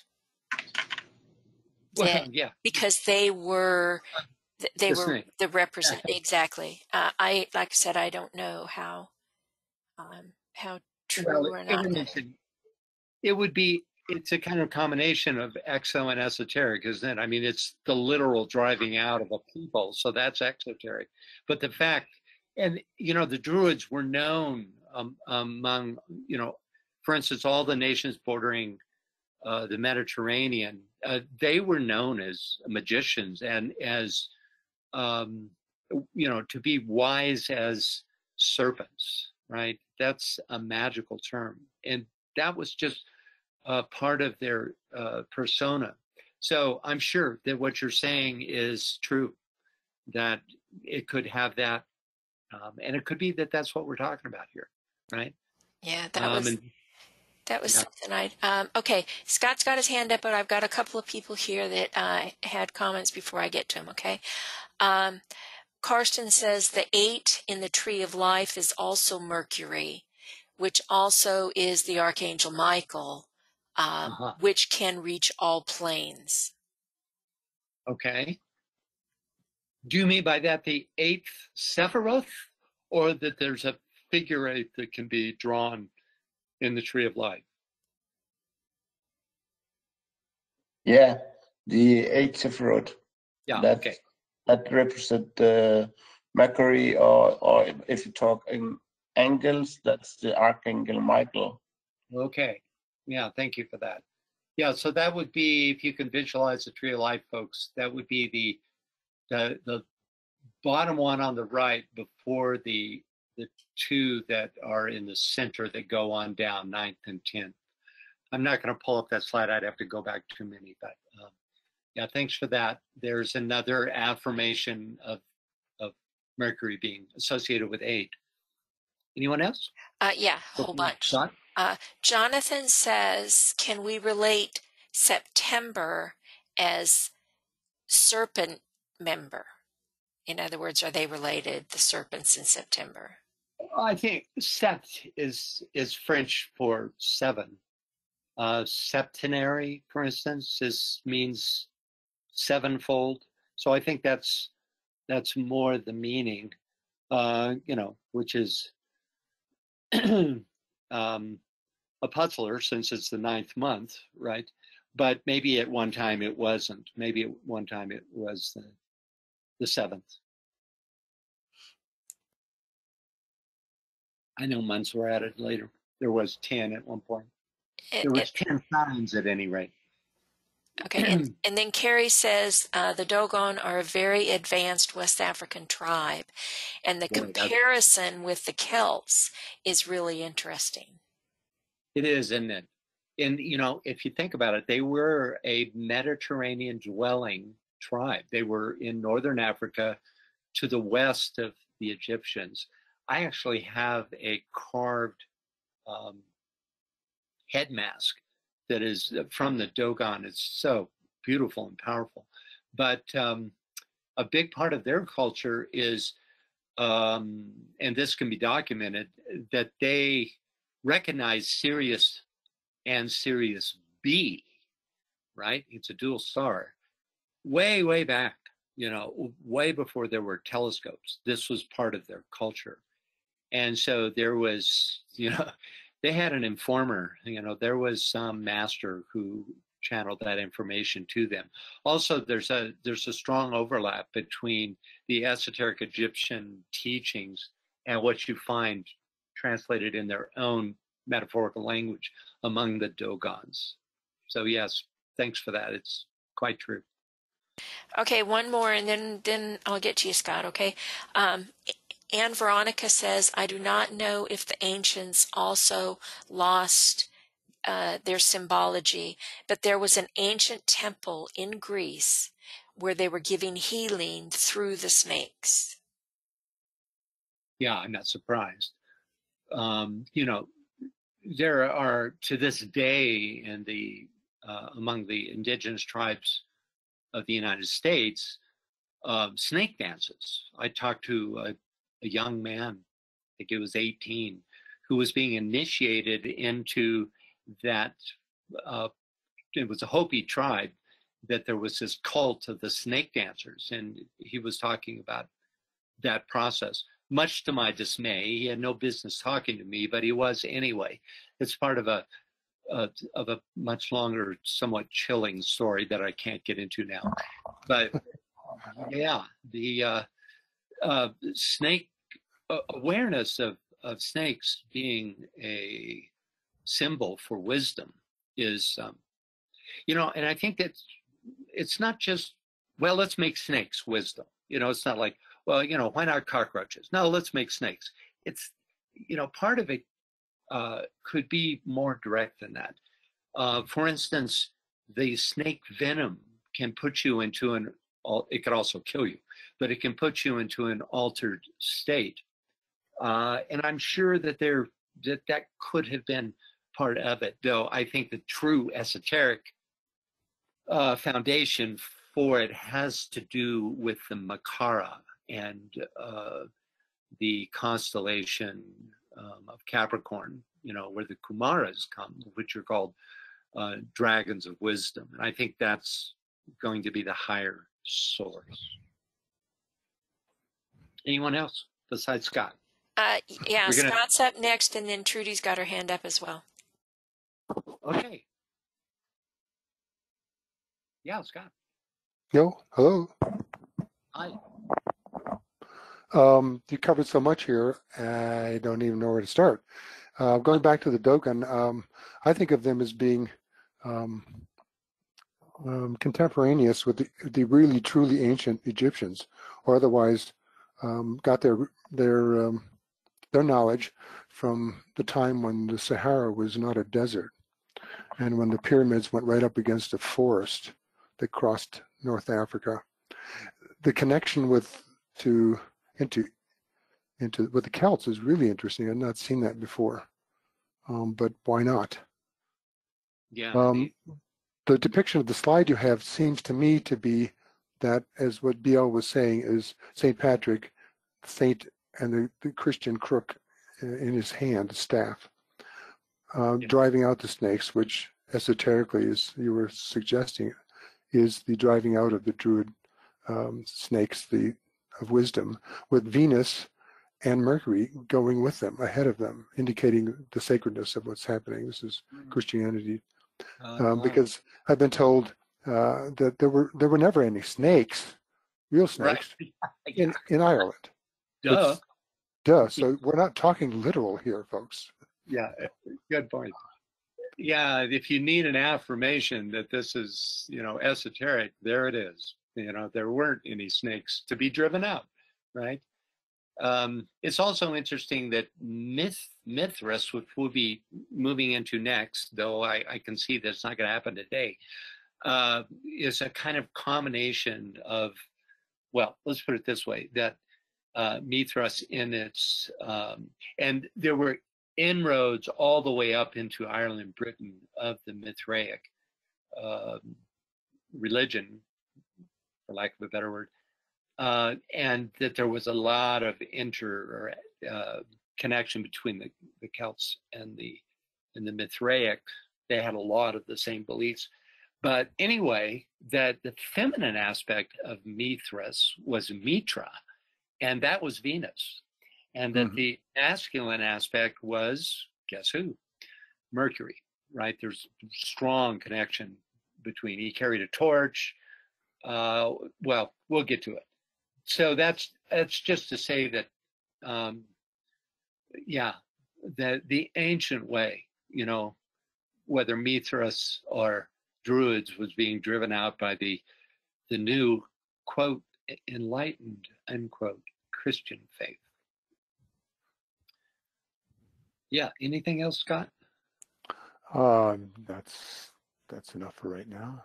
Yeah. You didn't want to make any comments about that triune figure, huh? well, um, no, Okay. not right off. Uh, there were there were things we could we could talk about, but I, I passed on that. Uh, I did I didn't go into all the, the, the parts of it. It seemed to me that the arcs, uh, the fact that they that triune figure was one figure that that created that curved triangle, and then the other figure was the circle. Right. It's yeah. It's fundamentally separate. Two separate entities there in this, and following it around is a clockwise form and a counterclockwise form. Um, it was interesting too. Um, particularly the uh, the one you had was was split in the middle. Uh, the circle that was split in the middle, going that one with the X, um, going one one was a clockwise form around half of it, and the other was counterclockwise. But these things can be um, looked at it for some time and played with different ways. But I like this. This one surely seems to me to be um, a Greek philosopher. That's the look of like a Plato up there, um, Yes. uh, driving out the snakes and um, um, not done by any druid, that's for sure. Nope. Nope. No. Being one yourself, you wouldn't want to do that. Okay. Good. Thanks. All right. And and Trudy has her hand up too. So, um, Trudy, go ahead, please. Yeah, I just wanted to say that um, the caduceus has two snakes, which is a healing symbol, has Ah. two snakes rising up uh, by a staff.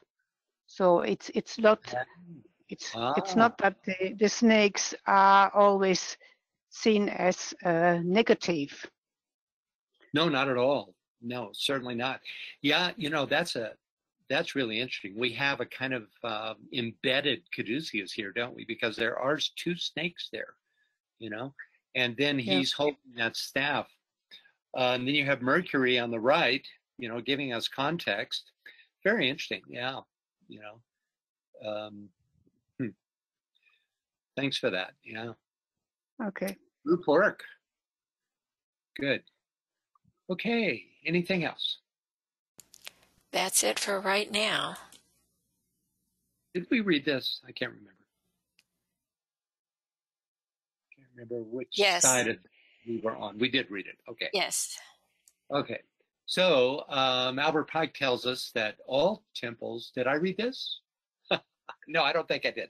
Okay. All temples were originally open at the top, having for roof the sky. Twelve pillars describe the belt of the zodiac. Whatever the number of the pillars, they were mystical everywhere. At Avebury, the Druidic temple reproduced all the cycles um, by its columns. Okay, the worship, uh, we're- we're making our way through this paragraph slowly. The worship of sun, moon, and stars from the heart of this form, the heart of this Druid prayer. Can we get a reader? Scott, can you read that for us, please? By the bright circle of the golden sun, by the bright courses of the errant moon, by the dread potency of every star in the mysterious zodiac's burning girth, by each and all of these supernal signs, do we adjure thee with this trusty blade to guide, guard yon central oak, whose holy stem involves the spirit of high Taranis. This be thy charge. Thanks, Scott. Uh, I find this just, I, well, it's quite beautiful poem. Um, survived quite a bit better than, uh, you know, I am a druid, I am a scientist, I am a whatever.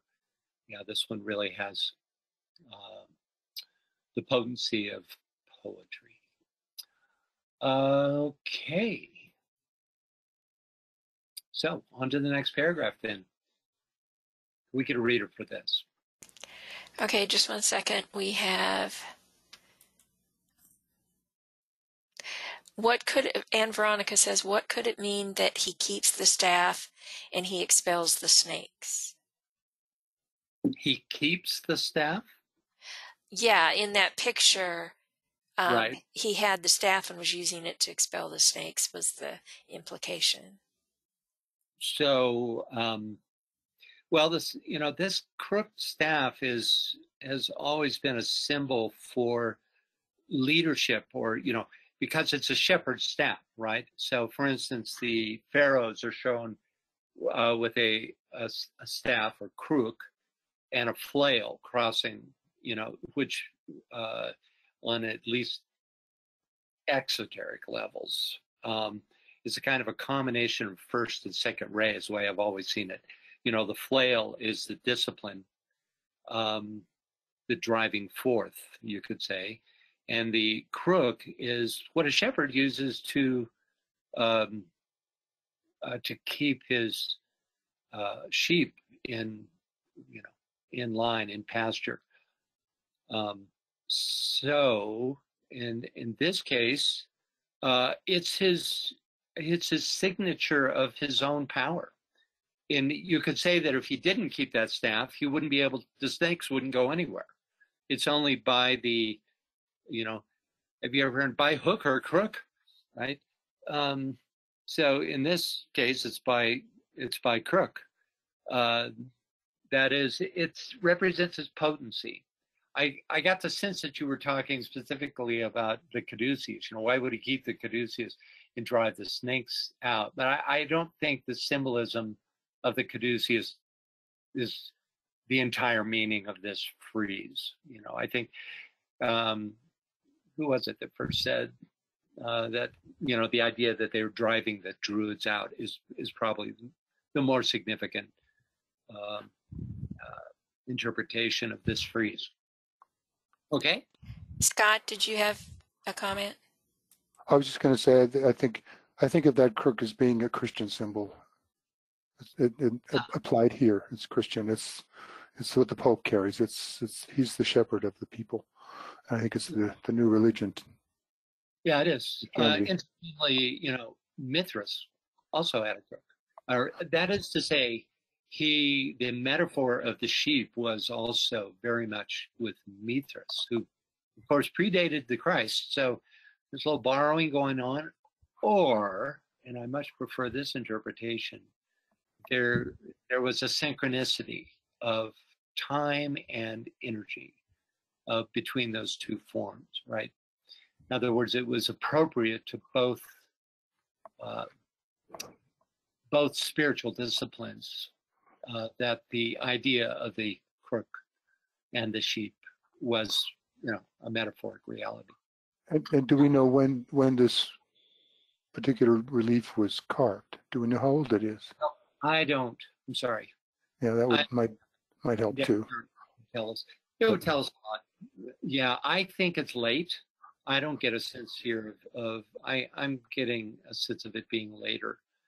Uh, something about, especially about the the um, what's the word the uh, the gesture of Venus and Mercury seemed to me quite late.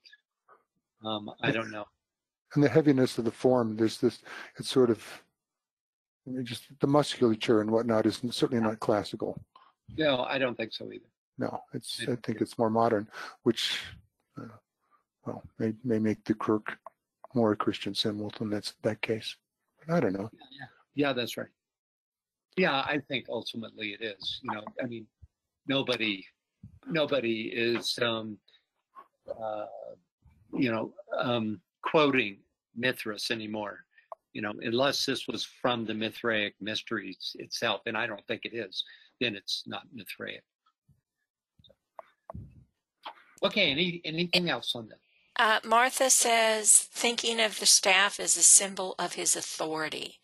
Power yeah. by authority transcends brute power.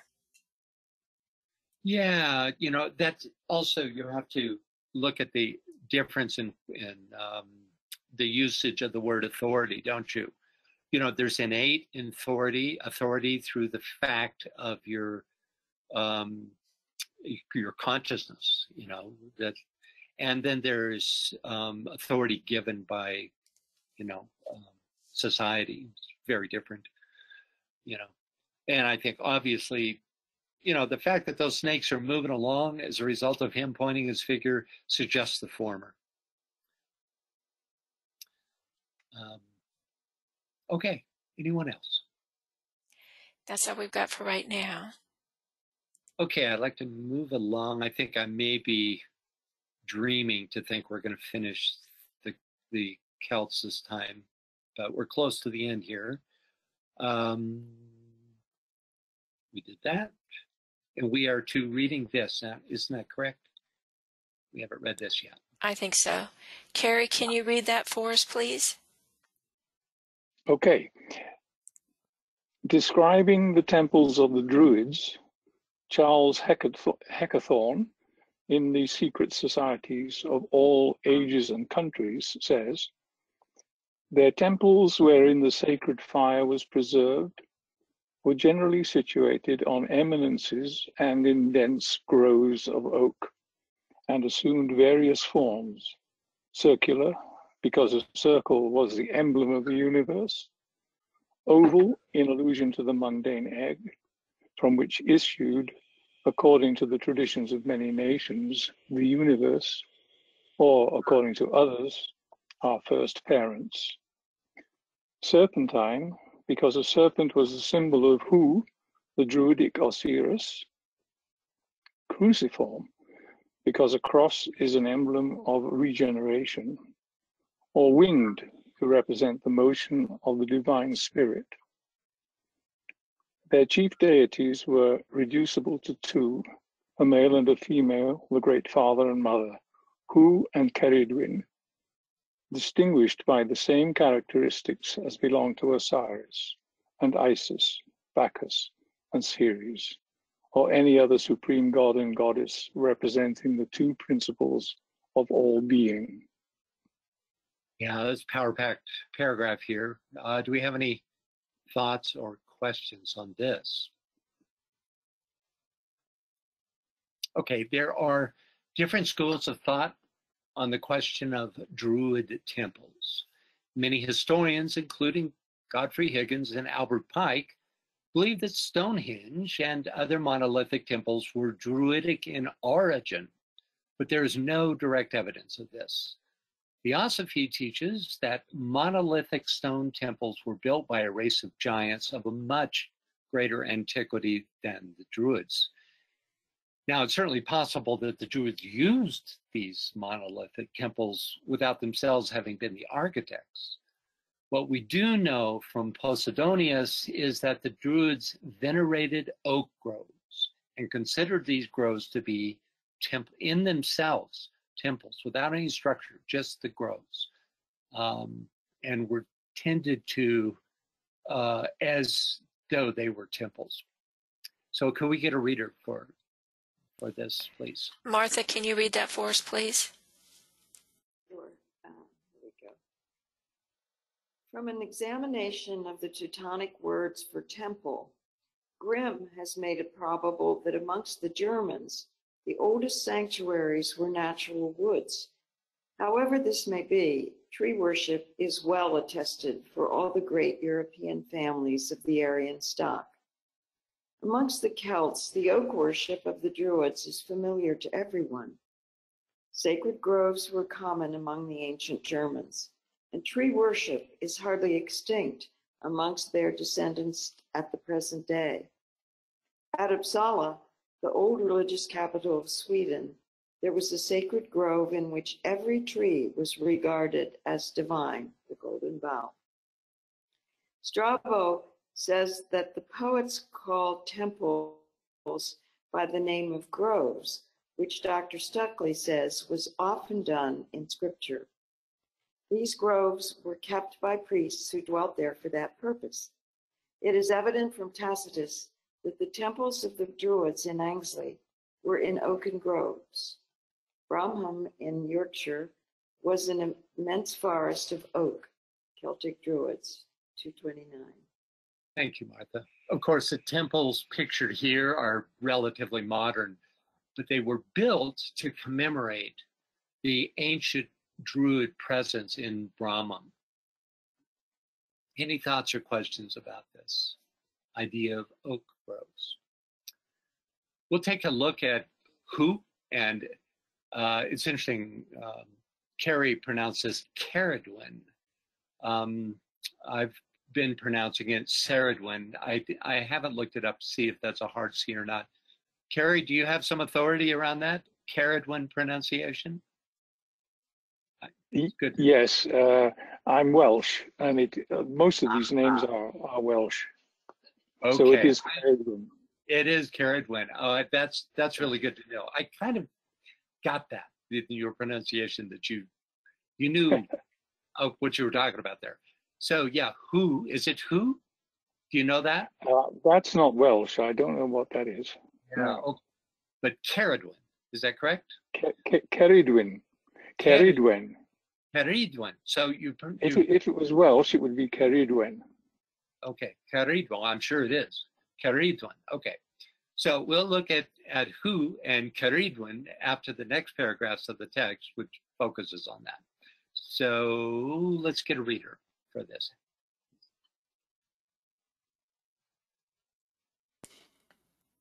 Can we get a reader, please? My mic's still open. I can read it. Yeah, that's please yes, do. please. Godfrey Higgins states that Hu, the mighty, regarded as the first settler of Britain, came from a place which the Welsh triads called the Summer Country, the present site of Constantinople. Albert Pike says that the, the lost word of masonry is concealed in the name of the Druid god Hu. The meager information extant concerning the secret initiations of the Druids indicates a decided similarity between their mystery school and the schools of Greece and Egypt. Hu, the sun god, was murdered and, after a number of strange ordeals and mystical mystic rituals, was restored to life. Thank you, Carrie. Any thoughts or questions about this? So the cutting into the murdering, right? Or in Egypt, it's the cutting into many pieces of any solar god represents a disfiguring separative effect of sequential time and space or material existence. Reassembling a solar god is a metaphor for the return journey. As the Gayatri says, from darkness to light, from the unreal to the real, from death to immortality. Albert Pike links the solar Hu with the divine serpent. Can we get a reader for this, please? Um, the British god Hu was called the dragon ruler of the world, and his car was drawn by serpents. His ministries were styled adders. His ministers, sorry, were styled adders. A druid in a poem of Taliesin says, I am a druid, I am an architect, I am a prophet, I am a serpent, a naughty. The car of the goddess Ceridwen also was drawn by serpents. In the elegy of uh, Uther Pendragon, this passage occurs in a description of the religious rites of the Druids, while the sanctuary is earnestly invoking the gliding king, before whom the fair one retreats upon the evil that covers the huge stones, whilst the dragon moves round over the places. You dropped out, Beal. I know, I can't speak anymore, which contained vessels of drink. I can't read, I'm sorry. Let me finish for you. So the gliding king, before whom the fair one retreats upon the evil that covered the huge stones, whilst the dragon moves round over the places which contain vessels of drink offering, whilst the drink offering is in the golden horns. Extraordinarily esoteric um, quote. You know, uh, you can do worse than just to read Morals and Dogma. Albert Pike was an extraordinary uh, person um, much more than just an author. Um, that's one of the reasons I've, I've quoted him so often. I, he has a, an, an, an, eight, an innate authority. But I love this illustration. Um, a car driven by serpents with his ministers were styled adders. Let's get back to what Michael said, right? Serpents are uh, inherently uh, bearers of wisdom, right? Remember the Gundestrup cauldron where the the uh, the uh, shaman at least that's how I see it, was holding that serpent by the neck and had him up to its ear to listen to what it had to say, right? Love that. Here, it's it's like being guided by serpent wisdom. Um, okay. Any thoughts or questions about this?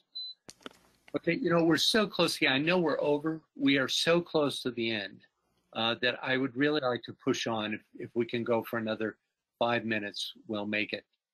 Um, and we come to, I, I just want to say, Lynn says, who is an important, um, I think, in the Mayan tradition? who is an important? Who is important? Who? Who? Don't start on who's on first. Thanks, Lynn, for that. Okay, that's interesting. And of course, serpent power was, you know, in in Middle America was was also huge. I mean, you could pull up image after image of the serpent serpent po- poetry and, and uh, potency uh, in uh, uh, Central America in the Mayans. Okay, um, Rudolf Steiner is um, described the esoteric connotations of Hu and Keridwen during a lecture given in Berlin in 1909, which he entitled The European Mysteries and Their Initiates. Whether historically accurate or not, I think you'll find his analysis deeply insightful. Could we get a reader for this? Carrie, I'm going to ask you to read that. You're, oops, you're muted. There you go. Thank you. All that lies hidden be, behind the sense world, as the sun behind the clouds, the hidden spirit, was known in these mysteries by the name of Hu. Keridwen was the seeker so, seeking soul, and all the rites of initiation were a means of revealing to the pupil that death is only one of the many processes in life. Death changes nothing at all in the innermost kernel of man's being. In the Druidic mysteries, Druid denotes an initiate of the third degree. The neophyte was put into a condition resembling death. His senses could not function as organs of perception. A man whose only instrument of perception is the physical body or the physical brain has no consciousness in a condition where his senses cease to function. But in initiation, the senses, feeling, hearing, and so on, cease to function. And yet the neophyte is able to experience and observe. The principle which observes was called Keridwen, the soul. And that which comes to meet the soul, as light and sound come to our outer eyes and ears, was called Hu, the spiritual world. The initiate experienced the unions between Keridwen and Hu. Such experiences are described in the myths. When we are told today that the ancients paid homage to a god Hu and a goddess Keridwen, this is simply another way of describing initiation. The true myths are always concerned with initiation. It is empty chatter to say that these myths have an astronomical meaning, that Keridwen is the moon and Hu the sun, and so on. These myths originated because their creators were conscious of an inner union between the aspiring soul and the spirit of the sun, not the physical sun. The mysteries of Hu and Keridwen then were those into which men were initiated in the regions of which we are speaking. Thank you, Carrie. I find this line to be particularly provocative. The principle which observes was called Keridwen, the soul, and that which comes to meet the soul as light and sound come to our outer eyes and ears was called Hu? Francis. yeah. Okay, Christine uh, writes, and and it's a comparison. Nadi, snake. Who, black earth. Egypt, human. H-U. Egypt, human. H-U, M-A-N. Human. Oh, interesting. Yeah. That's a really, I, I love that. Yeah. That's very interesting. Thank you for that. Um, let's see here. Um, it's in, this is a, an important point. Keridwen was the principle that observes after the outer senses are suspended. So clearly, this observation is not, you know, the sense of sight as an outer sense. It's this is a result of the outer senses being suspended. Then Keridwen comes forth as um, as as what does he say? That which seeks, right? The seeking soul, right? That's the the soul within the self. Um, and it's only after those those outer senses are uh, suspended that the principle of observation can come forth. Very esoteric stuff, right? Any thoughts or questions about this? I was very pleased to have run across this. Okay, can we get a reader for, I know it's late, guys, I'm sorry. Can we get a reader for this last paragraph on the Druids? Martha, can you read that, please?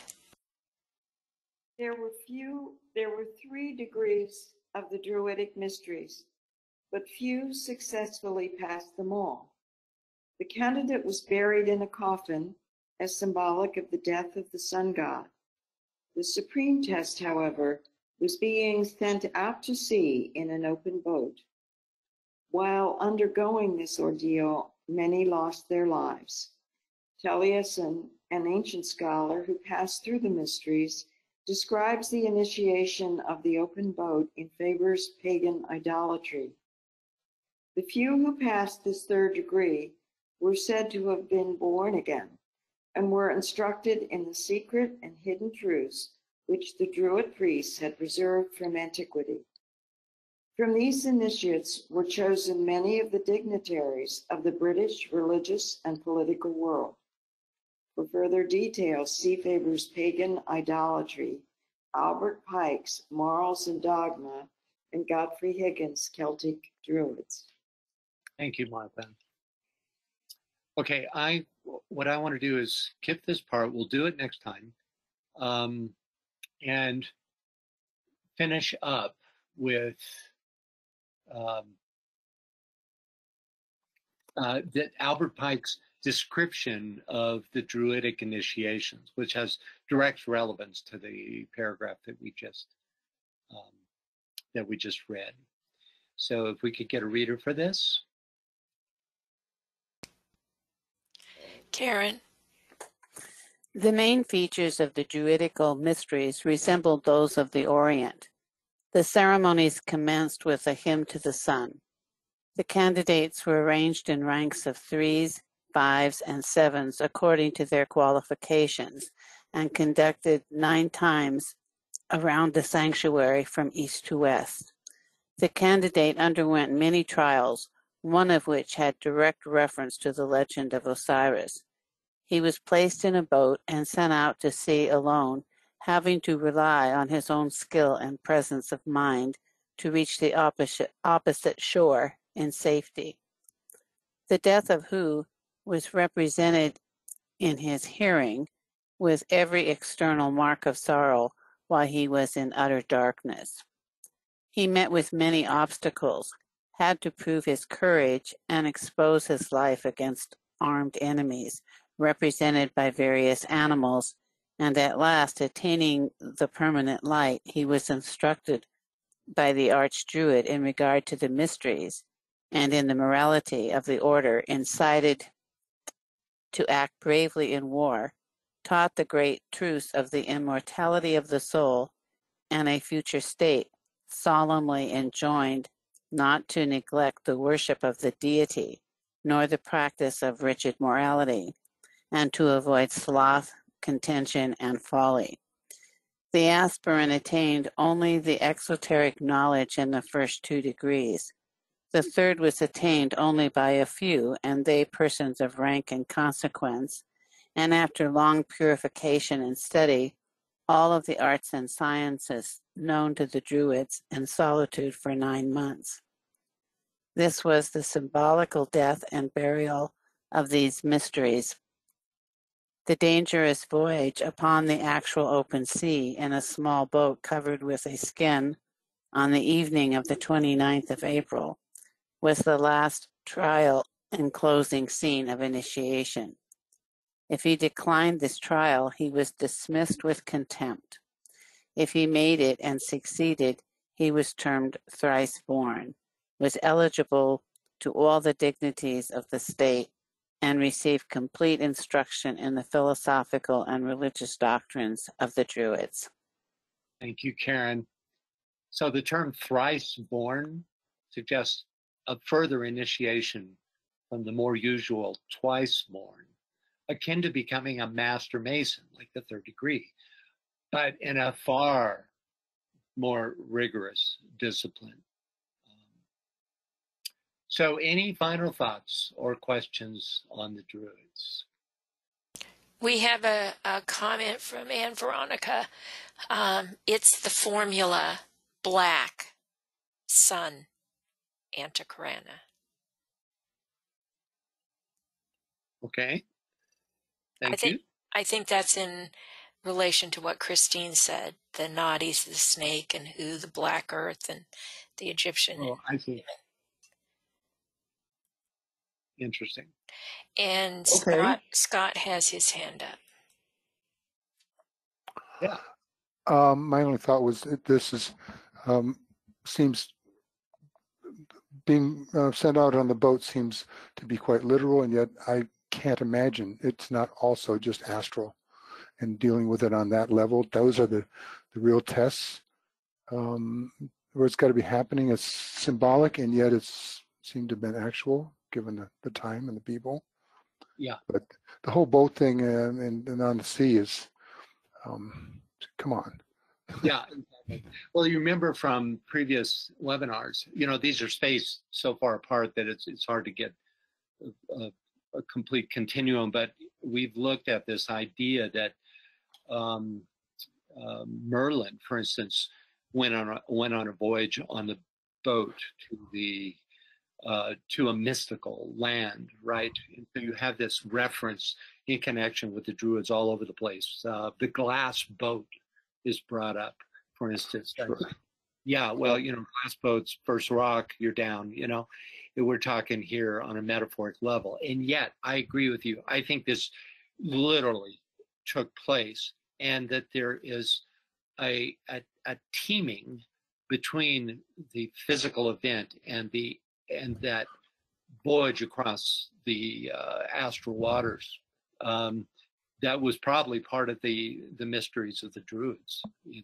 I mean it's really that which for theosophists uh, especially dk theosophists it's that which must be accomplished in order to take the second initiation right?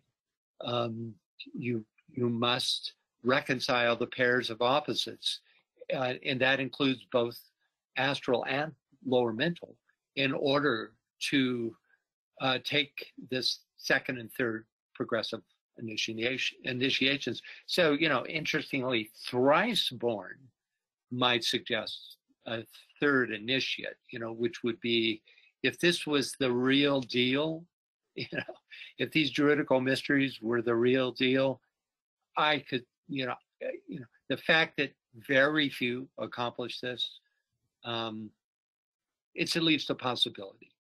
Of course, all things druid are hypothetical. That's, you know, I want to really emphasize that. Um, you know, the next, we're getting into the rites of Mithras next. There's so much more extant uh, information. Um, their, their scriptures are still survived, etc. Right? It's Zoroastrianism. But with the Druids, we don't have much. You know, so there's you know, but then there's this this idea that Steiner and Albert Pike, I trust their intuitions, you know. So um, I, wouldn't dismiss it out of hand. uh, there's enough information to show that there was a powerful mystery school that happened in that time among the Celts. So, with that, we're going to pull the plug. I'm sorry to keep you so late, but I, I really did want We to ha- finish this. We actually have another hand and we have some comments too. So lots of comments. Um, I'm I'm fine with staying here. Um, I will say that you know let's let's do this. Um, I wanted to ask you, BL, before this started, uh, is there any other date in April that we can slot this in? I No. know that the No. Sundays are the Sundays are gone. the Sundays, Right. the Sundays are gone because we got the full moon o- on a weekend and we have Easter. So it's, Oh. a- and then all the other webinars that we've got. There's just no way we can fit place. something in. Um, Okay. Um, so what this means, folks, is that we won't meet again until not May, but June, because the first Sunday in May, I'll be at the conference. Uh, and I actually even considered, you know, s- sitting in my hotel room and, and giving this. But I think a whole lot of you will be at the conference with me. Um, and I just can't predict my time there well enough to you know to for sure be able to say that i could do that. So that means a two month vacation. So don't forget about the secret teachings of all ages over the next two months. Join us again in the first sunday of june uh, which seems such a far long way off. Three months really. Yeah, so, but um, we we are good to go with the secret doctrine on the 15th of March and the 19th of April. So so hang in there we'll And, uh, we'll be doing other stuff. Um, we have other webinars going on too. So anyway, yeah. Okay, so now for those of you who you know have had enough at a quarter after the hour, um, you know you're you're welcome to pull the plug. But I'm one to uh, address those of you who have comments, thoughts. Uh, Christine has her hand up. Christine, I've unmuted you, but you are self muted. There you go. Uh, you're you're unmuted, but we can't hear you, Christine.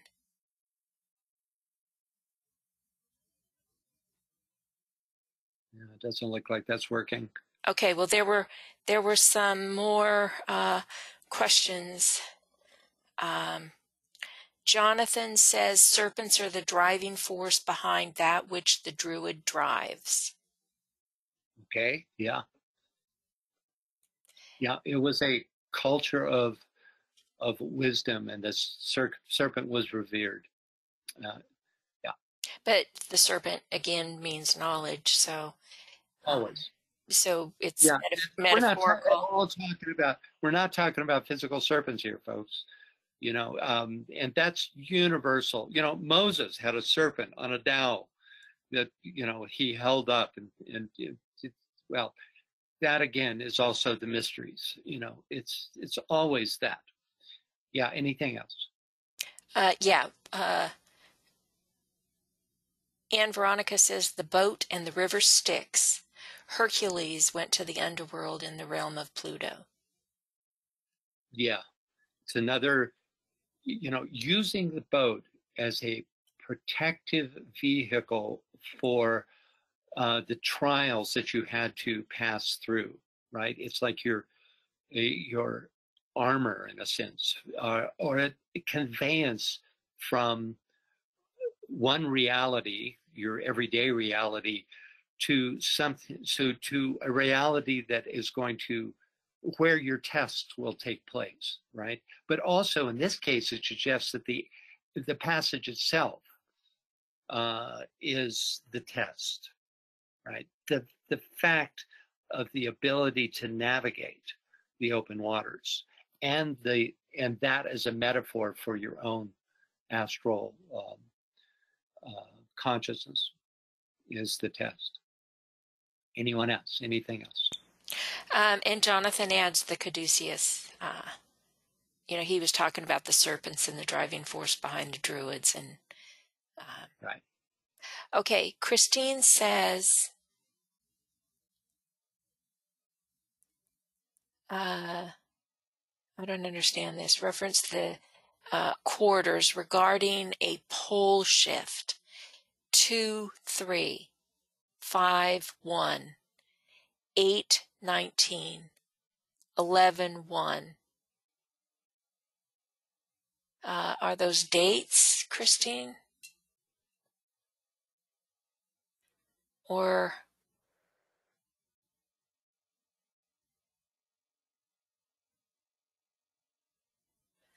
I'm sorry, I don't understand what she's typed I- in there. No, I don't. I don't either. I'm sure there's significance there, but uh, I'm not picking it up. I probably have to study that series of numbers to see if there's what she's getting at there. Anything else? Uh, she says uh, our solstice and equinoxes. Um, I, I think they were dates. Oh, okay. Oh, well, there is something about that. Yeah. So it would be Um, the 3rd of February, the 1st of May, the 19th of August, the 1st of November. Right. Yeah. Um, one thing I can say about that is that um, through the progression of the equinoxes, they've discovered that um, the the equinox uh, uh, occurred on May 1st, something like 4,000 plus years ago. So, you know, if you if you accept the idea that May Day, um, and it, you know, which is of course much more profound in Druidic culture than our concept of May Day, um, but still use the poles, uh, the, the, that pole, which to me suggests um, the equinox.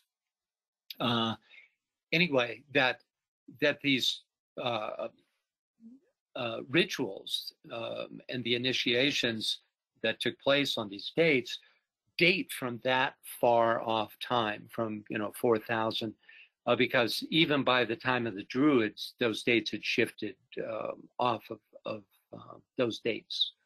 So I, I can't say that about them. Anything else? Uh, that's all I see right now. So Okay. let's say Well- thank you, everybody, and goodbye. Yeah. And So hope to this see is- you 15 March.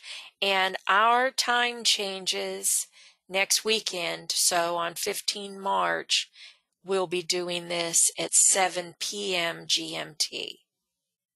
which, Which- means that unless, unless you're in a time zone that doesn't go to daylight savings time, uh, like for instance Arizona in the U.S., and I think there are others around the world, uh, unless you're in that time zone, it will be at the same local time as it is now because we're changing the GMT time. If you are in one of those time zones, you, you know you ought to adjust uh, for that. Well, So- I, I think that's technically true for those of us in the U.S., but I don't believe the European time changes um, that quickly. I think they they're an, Oh, a week. Europe changes. Europe changes March 29th. Okay, good point. So there's two factors. If you live in a, you know, it takes And- place after the 15th. There's three. If you live in Australia, it's totally different. But Yeah, I think it's time to pull the plug, folks. Uh, thanks very much, uh, and I look forward to picking this up in in June, and uh, this particular stream. And we'll see you all hopefully on March 15th. Is that correct? that's correct. The 15th. 15th. The 15th. For the next uh, uh, Secret Doctrine webinar. Okay. All right. Thank Bye you. Bye, everybody.